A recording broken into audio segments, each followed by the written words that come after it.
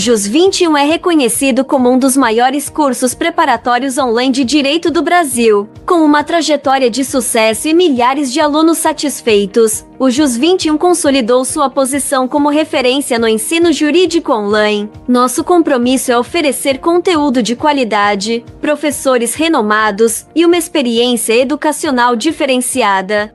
Seja você um estudante em busca da aprovação na Ordem dos Advogados do Brasil, o JUS 21 é a escolha certa. Faça parte dessa comunidade de sucesso e alcance seus objetivos no mundo jurídico conosco.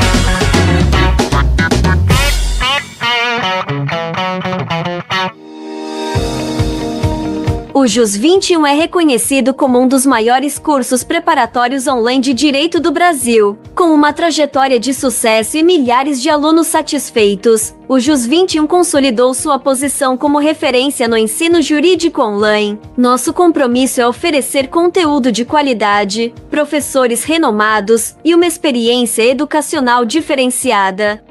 Seja você um estudante em busca da aprovação na Ordem dos Advogados do Brasil, o JUS 21 é a escolha certa. Faça parte dessa comunidade de sucesso e alcance seus objetivos no mundo jurídico conosco.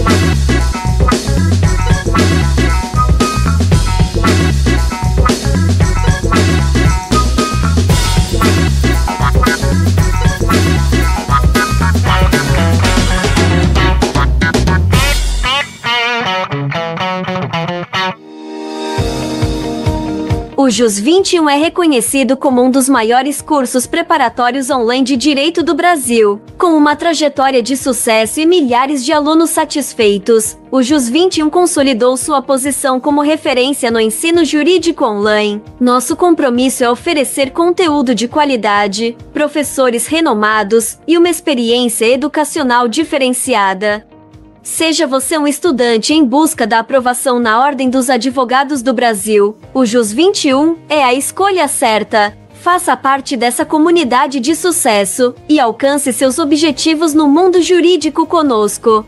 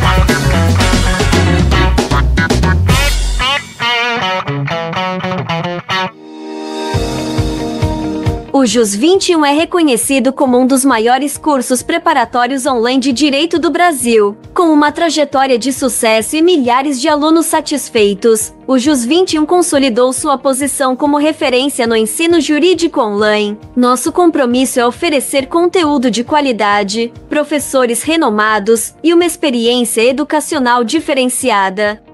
Seja você um estudante em busca da aprovação na Ordem dos Advogados do Brasil, o JUS 21 é a escolha certa. Faça parte dessa comunidade de sucesso e alcance seus objetivos no mundo jurídico conosco.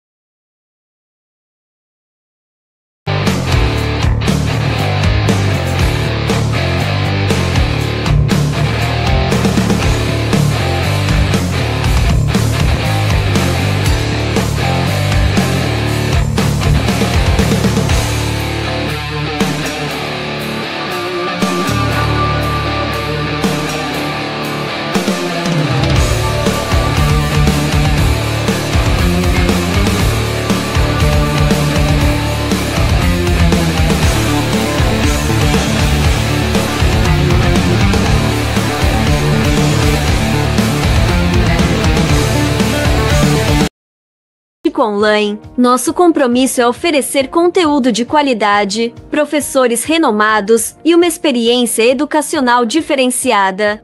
Seja você um estudante em busca da aprovação na Ordem dos Advogados do Brasil, o JUS 21 é a escolha certa. Faça parte dessa comunidade de sucesso e alcance seus objetivos no mundo jurídico conosco.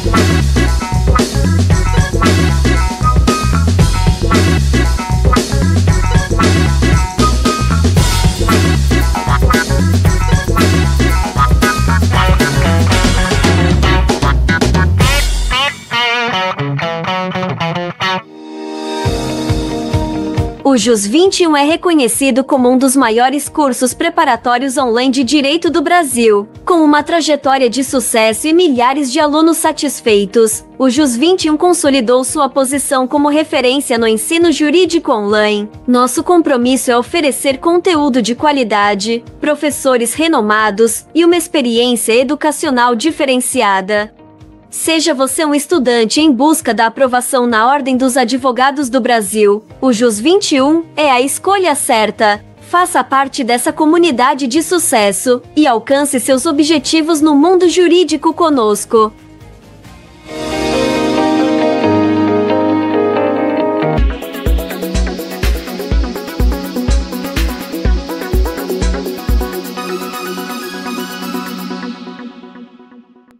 Fala pessoal, muito boa noite, sejam muito bem-vindos à nossa semana de revisões aqui no JUS 21 para a prova de delegado da Polícia Civil de Pernambuco, prova que acontecerá no próximo domingo. Hoje, na nossa primeira noite, segunda-feira, dia 26 de fevereiro, além de dar as boas-vindas, eu gostaria de rapidamente dar algumas informações extremamente importantes.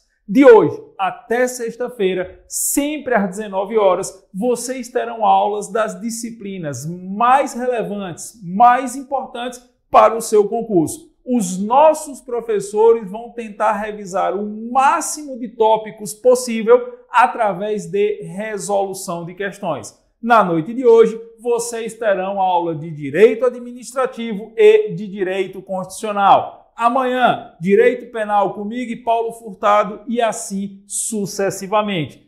Toda a programação está aqui na descrição desse vídeo. Então baixa um pouquinho a tua tela, consulta a programação de hoje até sexta-feira. tanto o link das aulas quanto o material que os professores vão utilizar ao longo das transmissões será enviado sempre para vocês no e-mail cadastrado, ali por volta de uns 10 minutos antes das 19 horas. 18h50, 18h55, você já dá uma olhadinha na tua caixa de e-mail que você está recebendo. No e-mail que cadastrou, o link da transmissão mais o material do dia. Ah, Giovanni, eu ainda não estou cadastrado. Não tem problema. A inscrição é gratuita. Basta acessar o link que está fixado aqui nos comentários do YouTube. O primeiro link aqui nos comentários, fixado pela minha equipe, é o link para você fazer a sua inscrição. Só mais uma última informação. No sábado, dia 2 de março, véspera da sua prova, nós teremos um dia inteiro de revisões ao vivo aqui no JUS 21. Toda a nossa equipe do Projeto Delta vai estar aqui nos nossos estúdios a partir das 8 horas da manhã até as 18 horas revisando os principais temas, as principais disciplinas, dando aquelas dicas finais para você chegar afiado e fazer a sua prova no domingo com muita tranquilidade. E o que é melhor, a revisão é gratuita. Professor, como eu faço para participar? Se você já está inscrito na nossa semana de revisão, você já está automaticamente inscrito também na nossa revisão de véspera. Se não se inscreveu ainda, vem aqui no link que está fixado nos comentários.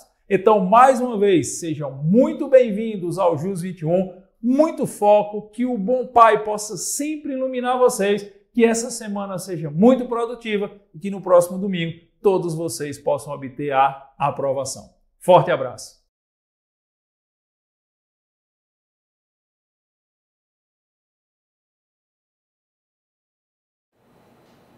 Olá pessoal, sou o professor Alexandre Medeiros. Sejam bem-vindos à nossa revisão de Direito Administrativo para o concurso de delegado da Polícia Civil de Pernambuco 2024 Banca Sebrasp. Então, as questões do concurso para o concurso de delegado, elas não têm apresentado discrepância em relação à complexidade para os concursos de Procuradoria, Ministério Público, Poder Judiciário.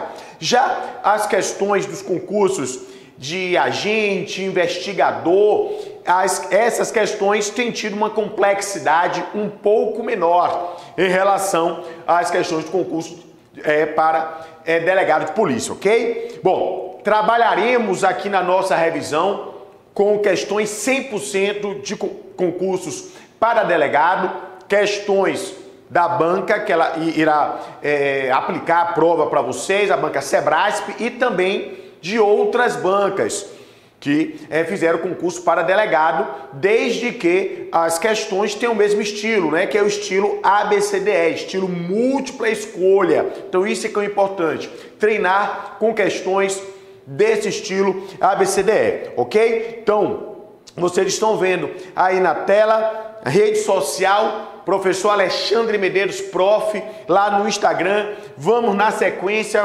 para não perdermos, não perdermos tempo.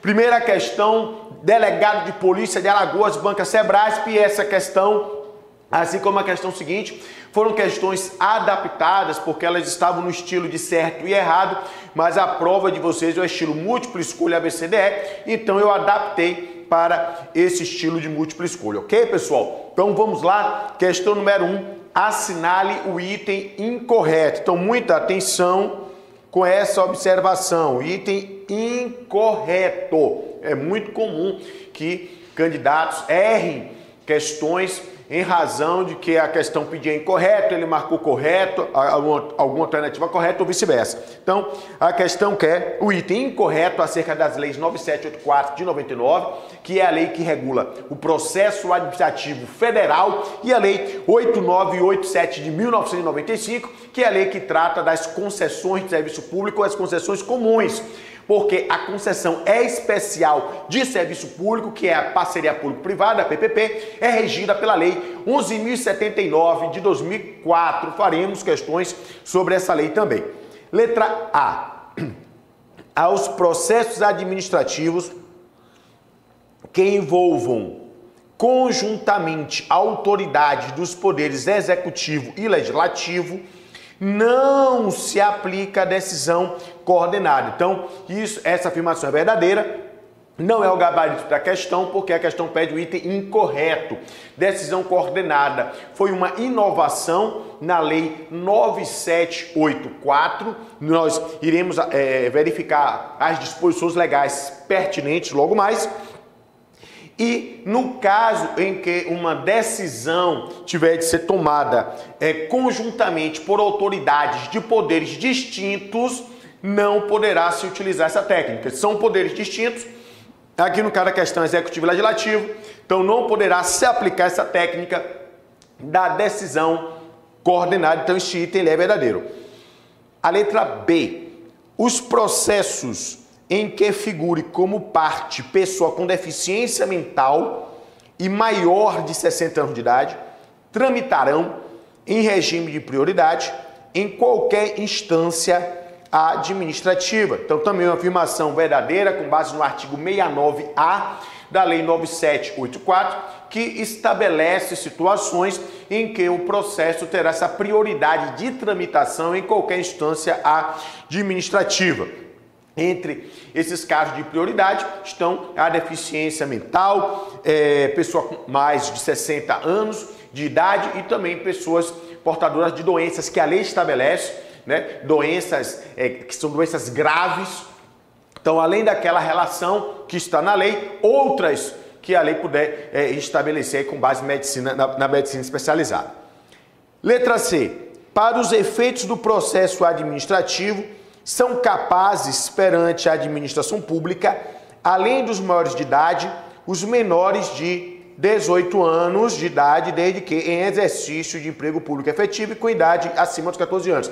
Então, essa é a afirmação incorreta, é o gabarito da nossa questão. Então, questão 1, gabarito letra C, por quê? Porque, de acordo com a lei, são capazes os maiores de 18 anos salvo previsão em ato normativo próprio, mas é evidente que um ato normativo não poderia é, é, atribuir capacidade para uma pessoa, digamos, de 14 anos a questão fala em acima de 14 anos, até porque, de acordo com o Código Civil, Lei 10.406 de 2002, abaixo de 16 anos, a pessoa é absolutamente incapaz. Então, letra C é, é o item é o gabarito da questão. A letra D de dado diz que o edital relativo a procedimento licitatório para a celebração de contrato de concessão poderá contemplar a inversão da ordem das fases de habilitação e julgamento das propostas, assim como ocorre em licitações de contratações de bens e serviços comuns realizados na modalidade pregão. Bom, essa é uma afirmação verdadeira, porque está em conformidade com a Lei 8987-95, que é a Lei de Concessão Comum de Serviço Público, o artigo 18A da lei, mas lembrando que essa inversão da fase de habilitação e julgamento ou seja, o, o, primeiro julgamento, fazer primeiro julgamento para depois a habilitação, já é o procedimento comum.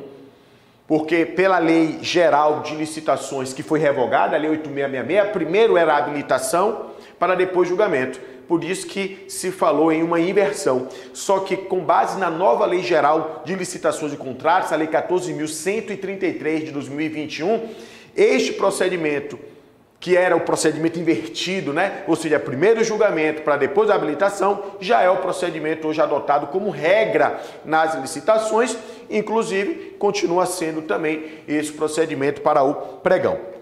E a letra E diz que ocorrerá a caducidade da concessão sempre que houver alteração no controle societário da concessionária sem prévia anuência do poder concedente. Então, também é uma afirmação verdadeira com base no artigo 27 da Lei 8987, a caducidade, que é uma forma de extinção do contrato de concessão que não se confunde com a encampação porque a caducidade diz respeito à extinção do contrato de concessão em razão de uma inadimplência do concessionário, em razão de alguma irregularidade, de alguma falha, de alguma conduta do concessionário indevida. Aqui, no caso, a transferência, a alteração do controle societário da concessionária sem a prévia anuência do poder é, concedente. Já a encampação é uma forma de extinção do contrato de concessão que se dá por motivo de interesse público não relacionado não relacionado com qualquer falha do concessionário. O concessionário não fez nada de errado, mas um motivo de interesse público justifica a extinção do contrato de concessão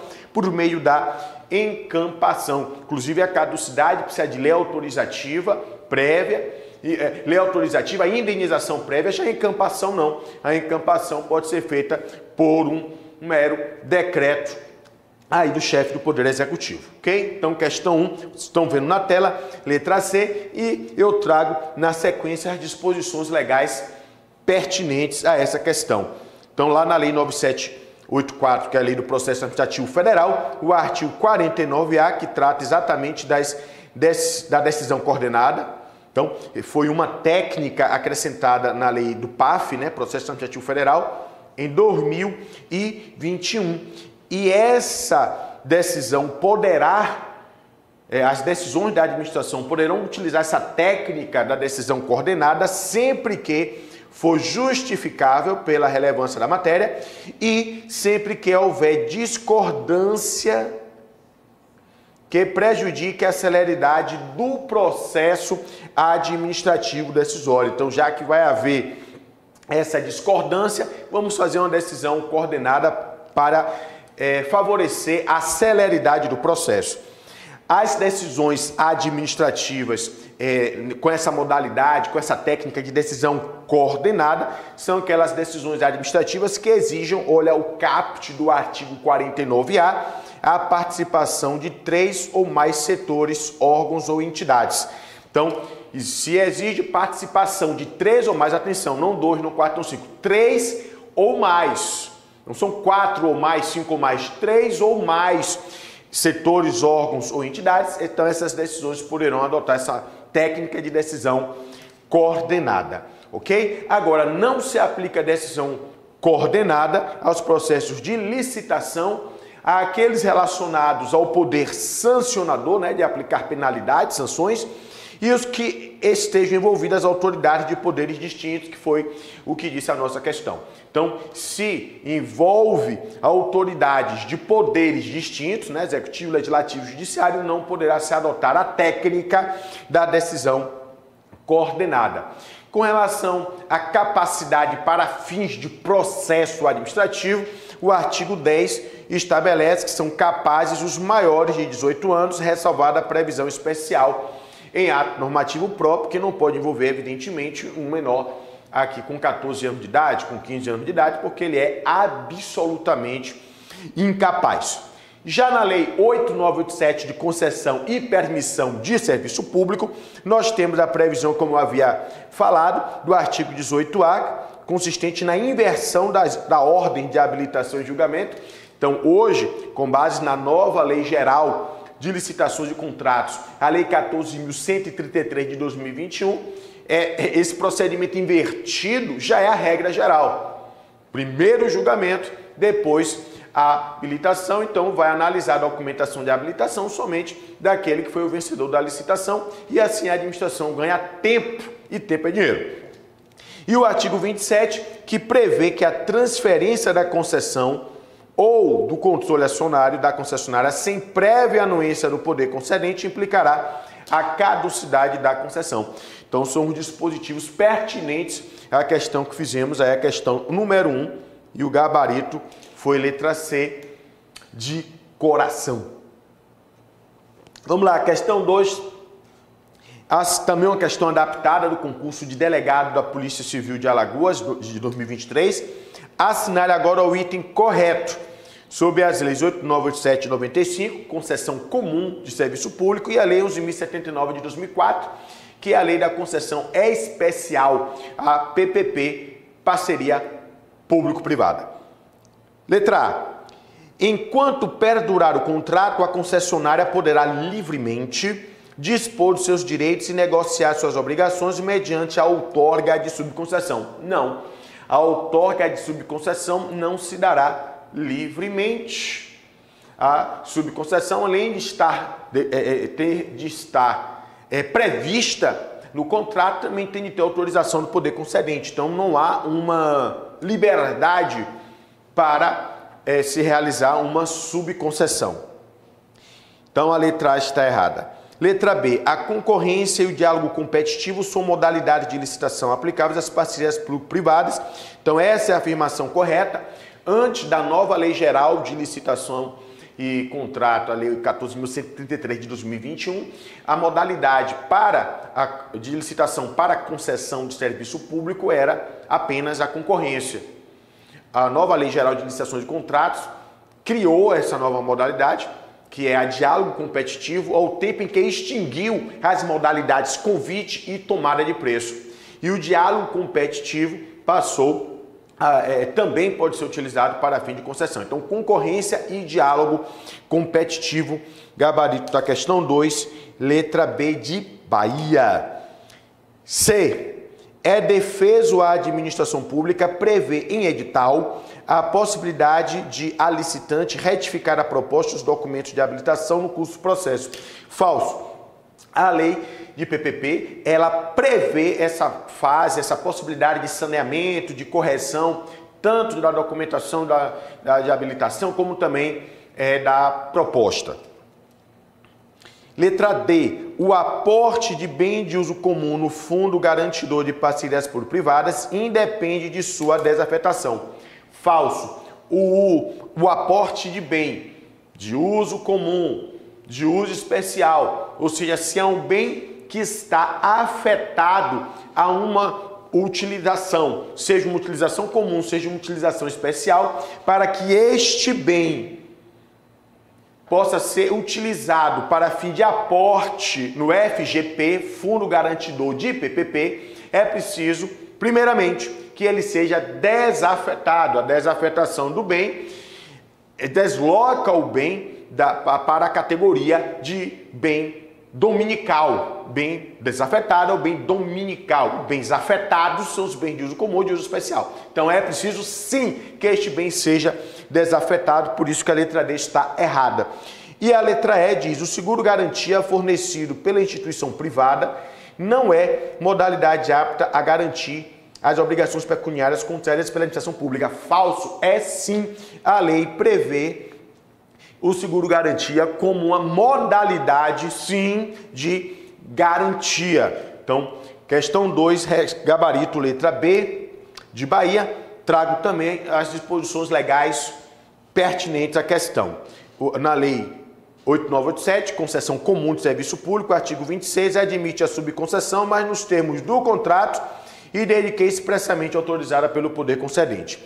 Na Lei de Concessão Especial, PPP, Lei 11.079 de 2004, diz que a PPP será precedida de licitação nas modalidades concorrência, concorrência ou diálogo competitivo, como foi dito na questão.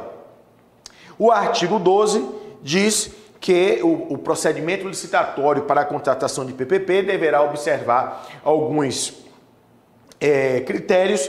Entre esses critérios, Olha o artigo 12, inciso 4, que prevê a possibilidade de o edital estipular a possibilidade aqui, olha, de saneamento de falhas, de complementação de insuficiências ou de correções de caráter formal no curso do procedimento, desde que o licitante possa satisfazer as exigências dentro do prazo fixado no instrumento convocatório. Então é aquela fase de correção, fase de saneamento que nós falamos e que a questão também abordou.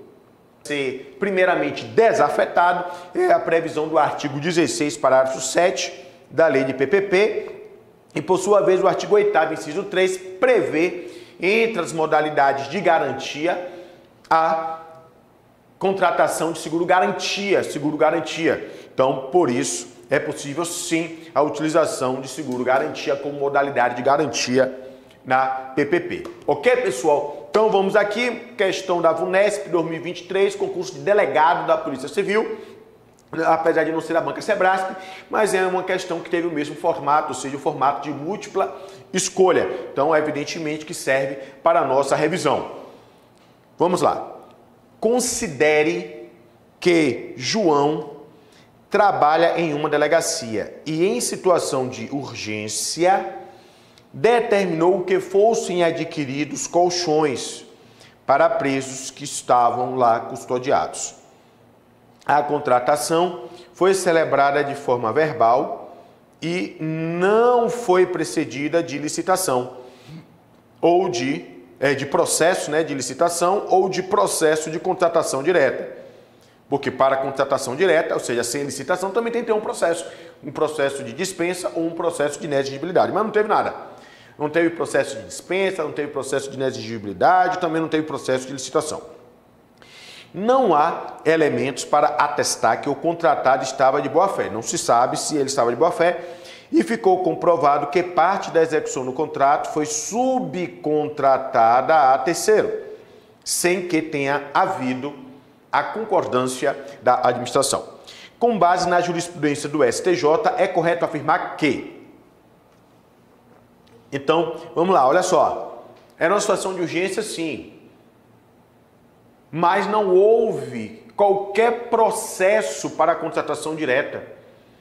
Porque, ainda que fosse uma situação de dispensa ou de inexigibilidade, se exige a realização de um processo de dispensa de um processo de inexigibilidade.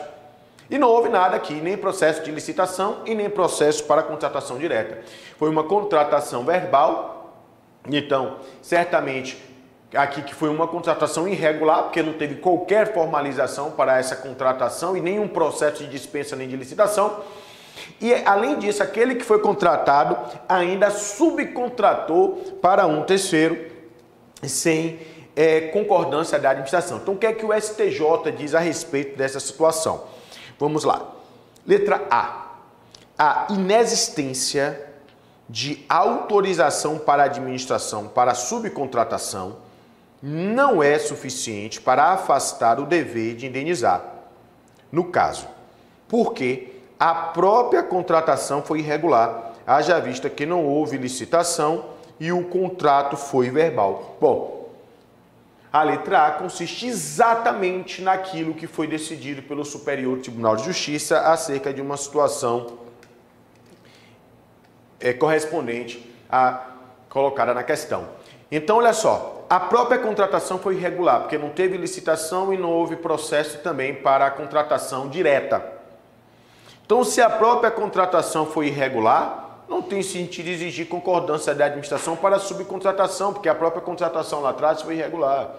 Agora, uma coisa é certa: o subcontratado, embora esteja tudo irregular, ele forneceu um bem aqui para a administração, né? Os colchões, ou ele prestou um serviço para a administração, então ele tem de receber, pelo menos por aquilo que ele executou deste contrato verbal, sob pena de enriquecimento sem causa da administração.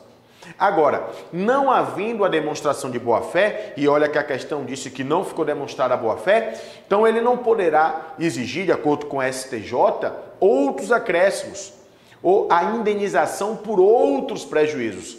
Ele vai receber exclusivamente por aquilo que ele executou do contrato, que foi aqui um contrato é, verbal. Então, a letra A diz exatamente que está na jurisprudência do STJ e as demais alternativas elas infirmam em um ponto ou outro o que está na letra A. Por essa razão, estariam aqui todas é, erradas, ok? Olha só, eu vou trazer aqui, então a questão 3 é letra A, e eu vou trazer o fundamento legal e também jurisprudencial da, para a questão. Bom, Antes, a previsão era do artigo 59, na lei geral antiga, a revogada. Na lei nova, a lei 14.133, essa previsão do artigo 59, é, é, parágrafo único, está no artigo 149. Então, o que é que ele diz? Ele diz que a nulidade não exonera a administração do dever de indenizar o contratado pelo que ele houver executado até a data em que a nulidade foi declarada ou tornada eficaz, bem como por outros prejuízos regularmente comprovados, desde que não lhe seja imputável, ou seja, é desde que não seja imputável a ele a nulidade, né? E deve ser promovida a responsabilização de quem deu causa à nulidade. Então, tudo bem, existe uma nulidade? Sim, existe. mas o que ele executou, ele deve ser indenizado. E ele deve ser indenizado também por outros prejuízos regularmente comprovados, mas desde que a nulidade não seja imputável a ele. Então, observem, ainda que a nulidade seja imputável ao contratado, ainda assim ele deverá ser indenizado, deverá ser pago pelo que ele executou o contrato. Agora, se a nulidade for imputável a ele, ele não terá direito aos demais prejuízos regularmente comprovados. E se a nulidade não for imputável a ele, além da indenização pelo que ele executou, ele terá direito também a esses demais prejuízos regularmente comprovados. A decisão do STJ, que vocês estão vendo aí na tela, é uma decisão é, recente, uma decisão de 2023, e o STJ diz assim: isso aqui é um trecho da emenda da decisão que foi utilizada como base para a questão. A jurisprudência do STJ é a de que, mesmo que seja nulo o contrato realizado com a administração pública por ausência de prévia licitação, é devido o pagamento pelos serviços prestados, desde que comprovados, nos termos do artigo 59, parágrafo único da Lei 8666, sob pena de enriquecimento ilícito da administração. Lei que já foi revogada. Então nós temos hoje o artigo 149 da Lei 14.133. O STJ reconhece que, ainda que ausente a boa-fé, a questão diz que não foi demonstrada a boa-fé do contratado e que ele tenha concorrido para a nulidade, ele participou lá da, da fraude, é devida a indenização pelo custo básico do serviço, sem qualquer margem de lucro. Então, uma das alternativas da questão falou poderia haver o direito à margem de lucro. Não, não, não. Se não há essa demonstração, ausente a boa-fé, se a nulidade é imputável a ele, ainda assim ele deve ser indenizado pelo que ele já executou. Mas somente isso. Ou seja, o custo básico do serviço, sem qualquer acréscimo. O custo básico do serviço sem qualquer margem de lucro. E na sequência, diz o STJ que a inexistência de autorização para administração, da, é, da administração para subcontratação é insuficiente para afastar o dever de indenização. Então, subcontratou de forma irregular para o terceiro, e da mesma forma, o terceiro deverá ser indenizado sob pena de enriquecimento sem causa da administração, porque a própria contratação foi irregular, haja vista que não houve licitação e o contrato foi verbal. Assim, desde que provada a existência de subcontratação e a efetiva prestação de serviço, atenção, tem de comprovar, obviamente, que o serviço foi prestado, que o bem foi fornecido, ainda que por terceiros, né, no caso da subcontratação para terceiros, e que tais serviços se reverterem em benefício da administração, será devida a indenização dos respectivos valores. Ok, pessoal? Então, questão 3 foi a letra A. Vamos aqui para a questão 4. Como já disse, são todas questões é, de concursos de delegado de polícia, ok? Que trouxe aqui para a nossa revisão. Com base na jurisprudência do STF, a respeito da responsabilidade civil extracontratual do Estado em função de danos causados por pessoa condenada criminalmente, foragida do sistema prisional, é correto afirmar que. Então vamos lá. O que é que o STF diz sobre o tema? Pessoal, quais são os requisitos para a responsabilidade civil do Estado? Conduta, pode ser comissiva ou omissiva, um dano, que é o resultado, e o nexo causal. É preciso que o dano tenha decorrido da conduta, ou seja, que a conduta tenha sido causa para o dano, ok? Bom, vamos imaginar que esse nexo de causalidade entre a conduta e o dano é como se fosse um elástico, aquele elástico de amarrar dinheiro, ok? Que vocês vão utilizar bastante depois que passarem aqui é, é no concurso. Então, aquele elástico. O que, é que acontece? Quanto mais você afasta esse elástico, maior a possibilidade dele se romper. Ok? Então, quanto mais você afastar a conduta do Estado do dano, do resultado danoso, maior a possibilidade de rompimento do nexo causal e de se afastar, portanto, a responsabilidade do Estado quando colocamos também circunstâncias aqui no meio, ocorrências aqui, digamos, o sujeito fugiu da cadeia e imediatamente cometeu um crime ou praticou ou, ou, ou gerou um dano. Bom, a responsabilidade do Estado fica mais próxima. Mas, se ele fugiu, seis meses depois, veio praticar, é, praticar um crime, cometeu um dano, já fica mais difícil, porque você afastou a conduta do dano. Ou então, se ele foge, aí forma uma quadrilha, e a partir daí, né, é o bando, né, a associação criminosa, a linguagem mais recente, e a partir daí é que ele passa a cometer crimes. Então, o nexo de causalidade deve se estabelecer entre a formação da associação criminosa e o dano causado, e não com a conduta do Estado, porque quando você coloca é, eventos intermediários, você termina rompendo o nexo causal entre o dano e a conduta do Estado. Então, em linhas gerais, esse é o posicionamento do STF. Após a questão, eu irei trazer aqui a jurisprudência do STF acerca do tema. Vamos às alternativas. A, o Estado responde por danos materiais e morais ante a ocorrência de roubo seguido de morte, quando o agente criminoso vinha cumprindo pena em regime fechado, tendo empreendido fuga, independentemente do momento da prática do ilícito. Então é falso, porque não é independentemente do momento da prática do ilícito. É preciso que o dano, que o crime tenha decorrido de forma direta, de forma imediata dessa fuga. Então é preciso haver uma, uma relação nexo causal direto e imediato. Então não é independentemente do momento da fuga. Se for tiver muito tempo, como eu falei, você afasta a responsabilidade do Estado em face do rompimento do nexo de causalidade. Letra B. A corte entende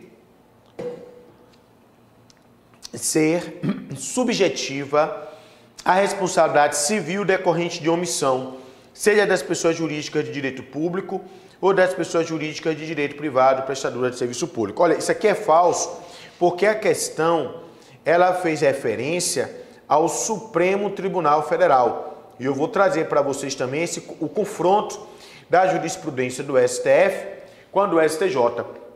O STJ, via de regra, entende o seguinte: quando o dano decorre de conduta comissiva, a responsabilidade é objetiva. Mas se o dano decorre de uma conduta omissiva, no caso de uma omissão genérica, a responsabilidade do Estado é subjetiva com base na teoria da culpa anônima, especial, culpa administrativa ou culpa do serviço. Teoria da falta do serviço.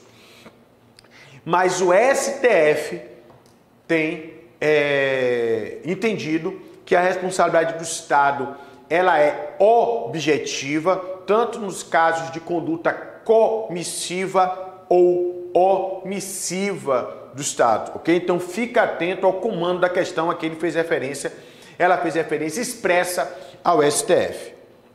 Letra C. O intervalo entre o fato administrativo e o fato típico que foi a morte de um indivíduo, e o surgimento de causas supervenientes independentes, como a formação de uma quadrilha, de uma associação criminosa, não contribui para a supressão da relação de causa, evasão do apenado do sistema penal, ou seja, a fuga, e o efeito que foi o fato criminoso falso contribui sim, contribui para a supressão desse nexo causal, como explicamos anteriormente. Letra D. A responsabilidade civil extracontratual do Estado nessa hipótese é integral, não admitindo a aplicação de causas excludentes do de causalidade. Falso. A responsabilidade objetiva se dá com base na teoria do risco administrativo, que admite sim excludente de responsabilidade, caso fortuito, força maior, fato de terceiro. A teoria do risco integral ela é utilizada excepcionalmente, se tratando aqui de danos ambientais, em se tratando de danos decorrentes de acidente nuclear, então atentados terroristas contra a aeronave brasileira, então nesse sentido, mas teoria do risco integral, de forma excepcional. No mais, teoria do risco administrativo que admite excludente. Letra E. A fuga do presidiário, de presidiário e o cometimento de crime sem qualquer relação lógica com sua evasão, extirpa, extingue o elemento normativo, segundo o qual a responsabilidade civil só se estabelece em relação aos efeitos diretos e imediatos causados pela conduta do agente. Então a resposta é letra E, com base é, na jurisprudência do STF. É preciso que o dano tenha uma relação direta e imediata com a fuga, ok? Então, questão 4, questão 4, letra E, e eu trago aqui tese fixada pelo STF no julgamento do tema 362 acerca desse assunto. Nos termos do artigo 37, parágrafo 6 da Constituição Federal, que é quem consagra como regra a responsabilidade civil objetiva das pessoas jurídicas de direito público e das pessoas jurídicas de direito privado, não se caracteriza a responsabilidade civil objetiva do Estado por danos decorrentes de crime praticado por pessoa foragida do sistema prisional quando não demonstrado o nexo causal direto entre o momento da fuga e a conduta praticada. Então, tem de demonstrar o nexo causal direto e imediato da fuga com o dano que foi é, praticado, ok?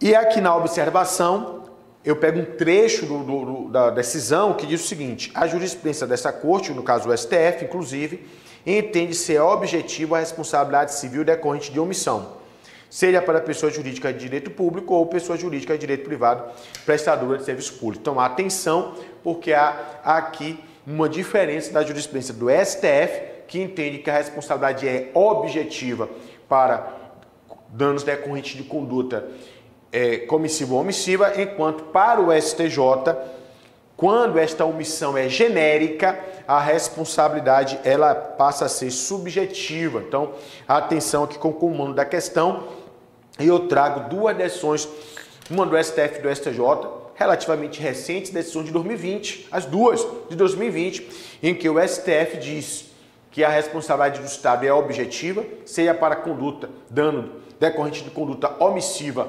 ou subjetiva, e a do STJ, que vocês estão vendo, o STJ faz de forma muito clara essa diferença, que a responsabilidade, no caso de conduta comissiva, ela é uma responsabilidade objetiva, mas no caso de dano decorrente de conduta omissiva, ela seria, olha só, subjetiva. Então, muita atenção com essa divergência da jurisprudência do STF e do STJ acerca desse tema.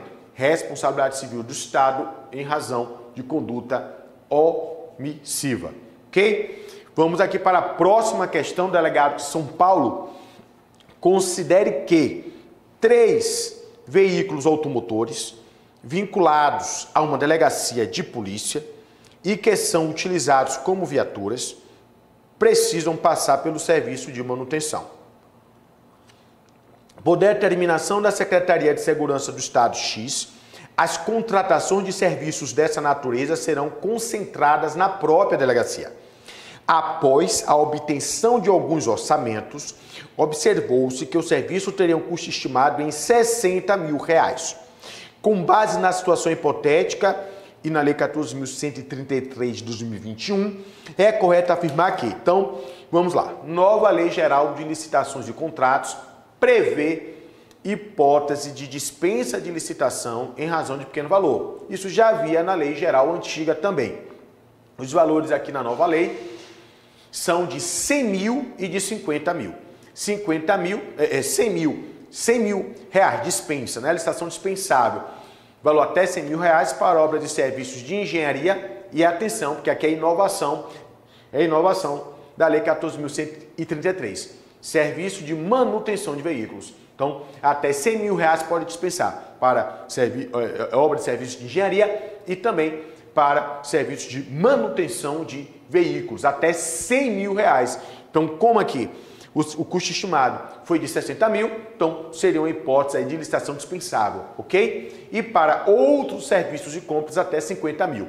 Esses são os valores previstos no texto original da Lei 14.133, mas o artigo 182 dessa lei determina que esses valores sejam atualizados. Então, como a lei anualmente, 1 de janeiro de cada ano. Então, com, isso por decreto presidente da República. Como a lei de 2021 já teve um decreto atualizando os valores para 2022, outro decreto para 2023 e um terceiro decreto que atualizou os valores desde, de, desde janeiro de 2000, 1 de janeiro de 2024, ok? Logo mais veremos quais são esses valores.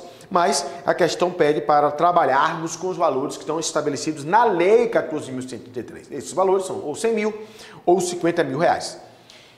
É correto afirmar que, letra A, a contratação não poderá ser feita por dispensa de licitação falso. Acabamos de falar que serviços de, é, serviço de manutenção né, de, de, veículos até 100 mil reais, pelo texto da, da lei, pode ser objeto de dispensa. B. A legislação autoriza a dispensa de licitação para as portas, verdade, mas prescreve que o contratado e o agente público estarão sujeitos à responsabilidade solidária por dano ao erário, caso a contratação seja considerada indevida por dolo, fraude ou erro grosseiro. Perfeito é, corresponde aqui à redação da Lei 14.133. Pode haver a dispensa até 100 mil para contratação de é, manutenção, né, serviço de manutenção de veículos, mas a lei diz que em qualquer caso de contratação direta, seja dispensa ou inexigibilidade, se é, houver irregularidade, seja por erro, por dolo, né, por é, é, é fraude, dolo, erro grosseiro, tanto o agente público e o contratado responderam de forma solidária. Atenção, não é subsidiária, é uma responsabilidade aqui solidária. Então, questão 5, gabarito é letra, é letra B de Bahia. Letra C, o serviço de manutenção de equipamentos vinculados à segurança pública conta com hipótese específica de dispensa. Isso é falso. Serviço de manutenção de veículos tem hipótese de dispensa, até 100 mil. Texto da lei, que já foi atualizado. Mas não é de veículos vinculados à segurança pública. Então, essa parte aqui, ó, de vinculado à segurança pública, não conta com nenhuma previsão especial. Isso está errado. Letra D. O serviço Deverá ser contratado por pregão eletrônico? Não, porque vimos que não necessariamente, porque é uma hipótese de licitação dispensável, então não necessariamente haverá licitação. Por se tratar de contratação de pequeno valor, o processo de contratação direta não precisa contar com parecer jurídico. Falso. Tem de ter parecer jurídico, sim, para contratação direta, por dispensa, por inexigibilidade, exatamente para demonstrar a legalidade daquela contratação sem licitação, ok? Então, questão 5, gabarito é letra B de bola, e eu trago aqui as disposições legais pertinentes.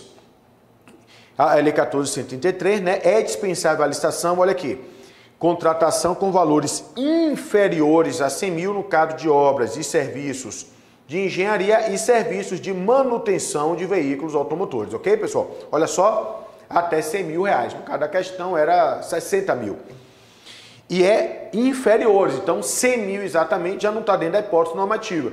Quer dizer, se considerar os valores atualizados pelo decreto, sim, mas pelo texto, a literalidade não, porque é valores inferiores. E dois, para a contratação que envolva valores inferiores a 50 mil para outros serviços e compras, ok?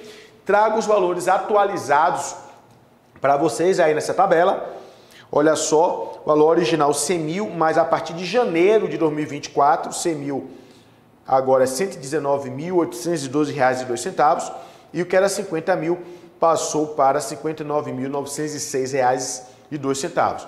Atenção, esses valores atualizados são valores para o ano de 2024, porque quando chegar 1 de janeiro de 2025, aí tem o decreto, eh, normalmente lá no finalzinho de dezembro, final dos últimos dias lá de dezembro, sai o decreto atualizando os valores para o ano seguinte. O artigo 73 fala daquela responsabilidade solidária do contratado e do agente público no caso de contratação direta por dolo, fraude ou erro grosseiro. E o, é, e o 72, inciso 3, prevê a obrigatoriedade de parecer jurídico nos processos de contratação direta assim como pareceres técnicos, se for o caso. Beleza? Então vamos aqui, próxima questão, questão 6, também delegado de São Paulo. E aqui já é uma questão sobre o tema improbidade ou probidade administrativa, de acordo com a jurisprudência do STF. É correto afirmar. Vamos lá. Letra A.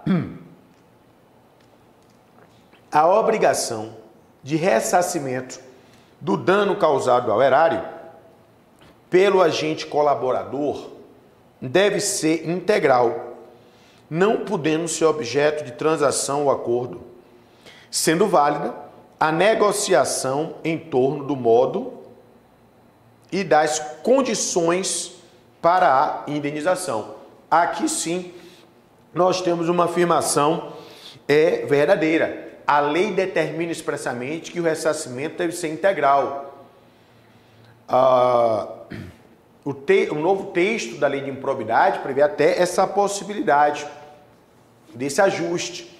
Mas o ajuste não pode ser em cima do valor, porque deve ser integral. Não dá para tergiversar em relação a isso. Mas é possível haver uma negociação em torno do modo, das condições de pagamento, mas o ressarcimento necessariamente há de ser integral, ok? A lei de improbidade é a lei número 8429 de 1992, mas ela, ela sofreu uma grande reforma pela lei 14.230 de 2021, que praticamente alterou a estrutura da, do regime jurídico de improbidade. Daí porque falamos hoje em uma nova lei de improbidade administrativa, ok? Então, questão 6, a resposta é, é letra A. Vamos analisar as demais alternativas. Letra B por ter o legislador estendido os princípios do direito administrativo sancionador às ações de improbidade administrativa, fez isso no artigo 1 parágrafo 4 as regras de prescrição intercorrente previstas na Lei 14.230, que, que alterou, reformou a, a LIA, se aplica aos processos em curso quando benéfica aos réus. Não o Supremo Tribunal Federal, no julgamento do tema 1199, 1199, fixou a tese de que o novo regime prescricional não retroage, ele se aplica a partir do momento que a lei entrou em vigor. Ok? Não retroage. Então, regime prescricional não retroage, ainda que benéfico. Ainda que tenhamos normas mais é, benéficas ao, ao réu. Não retroage. Ok? C. A nova lei 14.230 não se aplica aos atos de improbidade culposos praticados na vigência do texto anterior com processo ainda não transitado julgado. Aqui está errado. Por quê? O regime prescricional não retroage. Mas a exclusão da modalidade culposa, né, uma grande inovação aqui dessa lei, não há improbidade culposa mais no Brasil. Então, essa extinção do tipo, do tipo culposo de improbidade, que era possível pelo artigo 10, né, que era improbidade por prejuízo ao erário, deixou de existir, então o Supremo disse, olha, se aplica aos processos em curso. Ok? Se o processo já transitou em julgado, já está em fase de execução, não retroage. Mas, não, ou, ou, é, é, ou, seja, essa exclusão da modalidade, da modalidade culposa não irá retroagir para beneficiar é, o réu daquele processo que já transitou em julgado ou que está em fase de execução. Mas se a investigação está em curso, o processo está em curso, ainda não transitou em julgado, então a investigação deverá ser arquivada, o processo deverá ser extinto em razão da exclusão dessa modalidade culposa, ok? D. Celebrado o acordo de colaboração premiada, aí tivemos também teses fixadas especificamente sobre esse assunto, colaboração premiada na lei de improbidade. A documentação pertinente será remetida ao juiz, que presumirá a ausência de voluntariedade da manifestação de vontade nos casos em que o colaborador está sob os efeitos, sob os efeitos de medidas cautelares.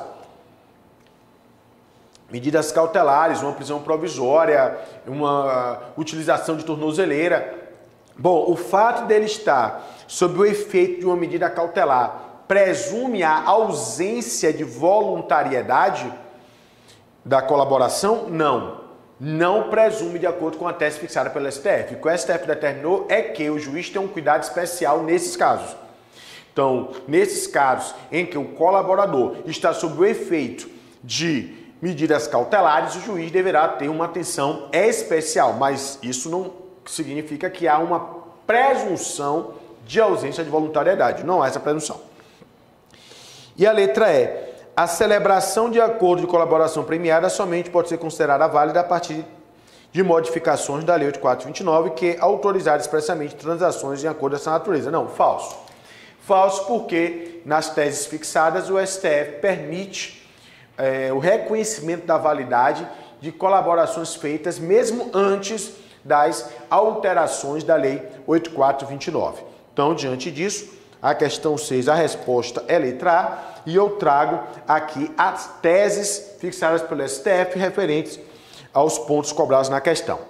Então, é, referente ao tema 1199, a necessidade, né? É necessária a comprovação de responsabilidade subjetiva para a tipificação dos atos de improbidade administrativa, exigindo-se nos artigos 9, 10 e 11 a presença do dolo, ou seja, não há mais improbidade culposa. 2. A norma benéfica da Lei 14.230, que foi a revogação da modalidade culposa, é irretroativa, mas atenção, é irretroativa para processos que já transitou em julgado ou que está em fase de execução. Todavia, olha a tese 3, eu acho que essas teses foram até, a redação ficou um pouco truncada, porque no, do, no item 2 diz não retroage, no item 3 diz, olha, mas se não transitou em julgado, então se aplica. Bom, então retro, retroagiria nesse caso. Olha o que diz o 3. A nova Lei 14.230 aplica-se aos atos de improbidade administrativa culposos praticados na vigência do texto anterior da lei, porém sem condenação transitada em julgado. Então, se não transitou em julgado, aí retroage em virtude da revogação expressa no texto anterior, devendo o juízo competente analisar eventual dolo por parte do agente. E no, último termo 4, falou que o novo regime prescricional é irretroativo, aplicando-se os novos marcos temporais a partir da publicação da lei, ok? Em relação à prescrição, não tem jeito, não retroage. Já em relação à colaboração premiada, nós, na, na, na ação de probidade, nós tivemos as teses fixadas no julgamento do tema 1043, 1043 do STF. Foi que ele disse que é constitucional a utilização da colaboração premiada nos termos da Lei 12.850 de 2013 no âmbito civil em ação civil pública por ato de improbidade administrativa movida pelo Ministério Público, Ministério Público observado algumas diretrizes. Então vamos verificar quais foram as diretrizes determinadas aí pelo STF. 1. Um, realizado o acordo de colaboração premiada, serão remetidos ao juiz para análise o respectivo termo, as declarações do colaborador e cópia da investigação devendo o juiz ouvir sigilosamente o colaborador, acompanhado de seu defensor. Não há sigilo para o defensor, embora estejamos em tempos estranhos, não é? Oportunidade em que analisará os seguintes aspectos da homologação: a regularidade do acordo, a legalidade e a voluntariedade da manifestação especialmente nos casos em que o colaborador está ou esteve sob efeito de medidas cautelares. Então não é que haja uma presunção de ausência de voluntariedade, mas se está sob efeito de medidas cautelares, o juiz vai ter de analisar com mais cuidado. 2. As declarações do agente colaborador, desacompanhadas de outros elementos de prova, são insuficientes para o início da ação civil por ato de improbidade administrativa. Ok? Essas teses foram fixadas em 2023. E todas essas teses fixadas no campo da improbidade administrativa, é, é, a partir da reforma da Lei 8429 pela Lei 14.230 de 2021, foram de relatoria do ministro Alexandre de Moraes. 3. A obrigação de ressarcimento do dano causado ao erário pelo agente colaborador, olha só, deve ser integral. Isso foi cobrado na questão também, deve ser integral, não podendo ser objeto de transação ou acordo mas é válida a negociação em torno do modo e das condições para a indenização, né, para o pagamento. Então, ó, vai parcelar, não vai parcelar, enfim. Mas o valor não pode ser objeto de negociação. 4. O acordo de colaboração deve ser celebrado pelo Ministério Público com interveniência da pessoa jurídica interessada, que é aquela que foi prejudicada pelo ilícito de improbidade né, e devidamente homologado pela autoridade judicial. Então, acordo de colaboração é celebrado pelo Ministério Público, tem de ter aqui a interveniência da pessoa jurídica interessada e deve ser homologado pela autoridade judicial. E por fim, a última tese é que os acordos já firmados somente pelo MP ficam preservados, ou seja, somente pelo MP isso significa sem interveniência né, da pessoa jurídica interessada, devem ser preservados desde que haja previsão de total ressarcimento, tenham sido devidamente homologados em juízo e regularmente cumpridos pelo beneficiado. Então, mesmo aqueles acordos que foram celebrados sem o atendimento total né, é, desses requisitos, ou antes das alterações da Lei 8429, sim, eles podem ser é, preservados, ok? Próxima questão, 7. Delegacia Fazendária, Delegacia Fazendária, que foi delegado de polícia, questão do delegado do Rio de Janeiro. Delegacia Fazendária recebeu denúncia anônima contra João, que é administrador de um hospital público estadual, o qual teria adulterado em 12 de 9 de 2015 documentos comprobatórios de capacidade técnica de empresa para oferir o objeto da licitação consistente na administração da saúde pública no Estado. Então, o que foi que ele fez? Fraudou documentos né, para fim de licitação. O delegado titular da Delegacia Fazendária, após as investigações policiais, concluiu que havia ocorrido crime de frustrar o caráter competitivo do procedimento licitatório. Bom, se concluiu que houve o crime, então o delegado concluiu que houve dolo, né? Que houve dolo. Além dos aspectos penais, a autoridade policial identificou suposto dano ao erário público. Erário público é uma expressão redundante, né? mas está na Constituição, está na legislação, porque o erário só é público mesmo, não existe erário privado. Em razão da conduta de João. Assim, sugeriu em seu relatório final a instauração da ação penal e a propositura de ação de reparação de danos ao erário, fundada em ato tipificado como ilícito de improbidade administrativa. Considerando esta situação hipotética, assinale a opção correta. Vamos lá. Letra A. Caberá a ação de ressarcimento erário comprovando-se o dano por qualquer ato ilícito do administrador do hospital, garantindo-se a ampla defesa ao réu. Por que, que essa questão está errada? Porque não é qualquer ato ilícito. Tendo em vista, olha só, que o ato, a, a conduta, ela é de 2015 é uma questão aplicada em 2022. Então já tínhamos aí, é mais de sete anos seria possível arguir uma eventual prescrição da ação reparatória caso o ilícito fosse considerado um ilícito civil, um ilícito civil.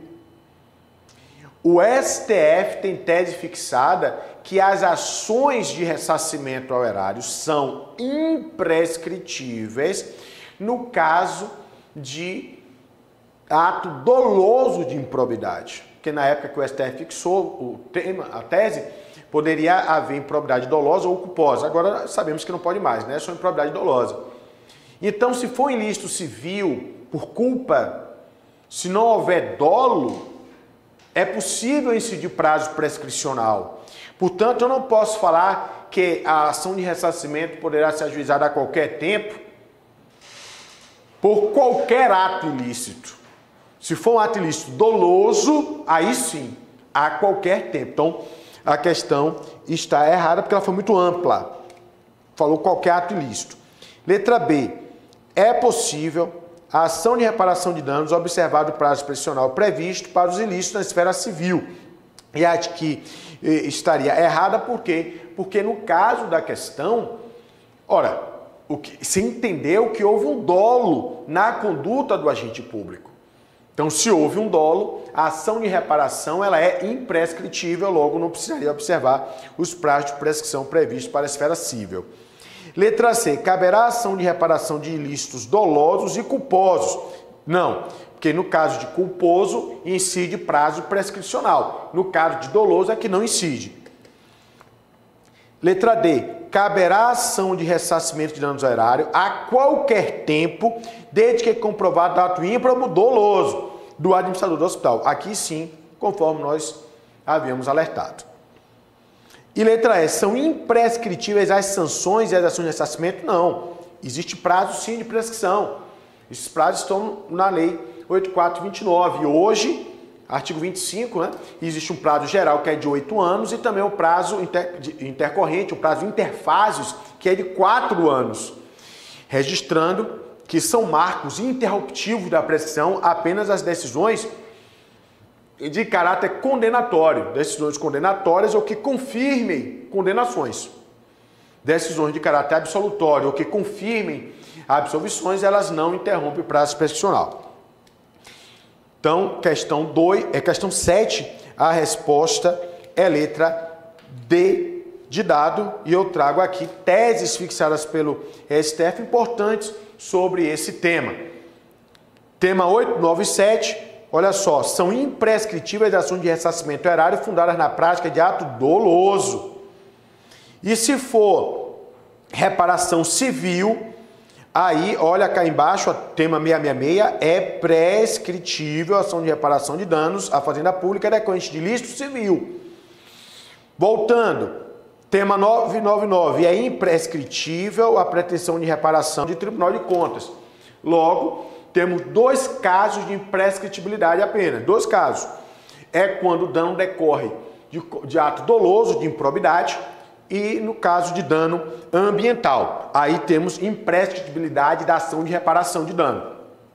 Mas se o dano decorre de ilícito civil, se está fundado em decisão do Tribunal de Contas, então a ação de reparação de danos ela é prescritível, ok? Eu trago também é, o julgamento do STF das ADIs 7042 e 7043, elas não estão relacionadas aqui diretamente com a questão, mas que vocês tenham conhecimento. O STF julgou, é, considerou é, é, inconstitucionais aqui alguns dispositivos da reforma né, da Lei 14.230 de 2021. Vamos lá. Na letra A, então, aqui só para fazer essa, essa breve referência, o STF declarou a inconstitucionalidade, sem redução de texto, do CAPT e dos parágrafos 6A e 10C do artigo 17, também do CAPT dos parágrafos 5 e 7 do artigo 17B da Lei 8429, foi para quê? Com que objetivo? Com o objetivo de restabelecer a legitimidade concorrente para a propositura da ação judicial de improbidade. Como é que era antes da reforma? Ministério Público e pessoa jurídica interessada tinham legitimidade para a propositura da ação judicial de improbidade. Depois da reforma, somente o Ministério Público. O STF entendeu inconstitucional e restaurou, ao lado do Ministério Público, a legitimidade concorrente e disjuntiva da pessoa jurídica interessada. Então, a pessoa jurídica interessada também tem legitimidade para propor a ação judicial de improbidade administrativa.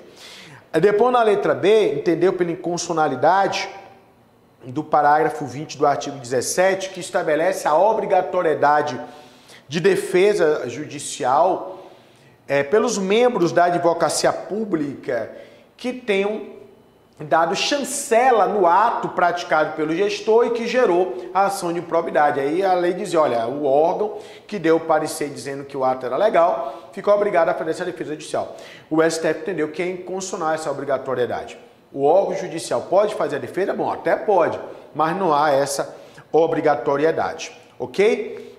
O STF também suspendeu a eficácia de outros dispositivos em razão aqui do avançado da hora e dos outros temas que temos trabalhar, só vou fazer referência, suspender o artigo 1 parágrafo 8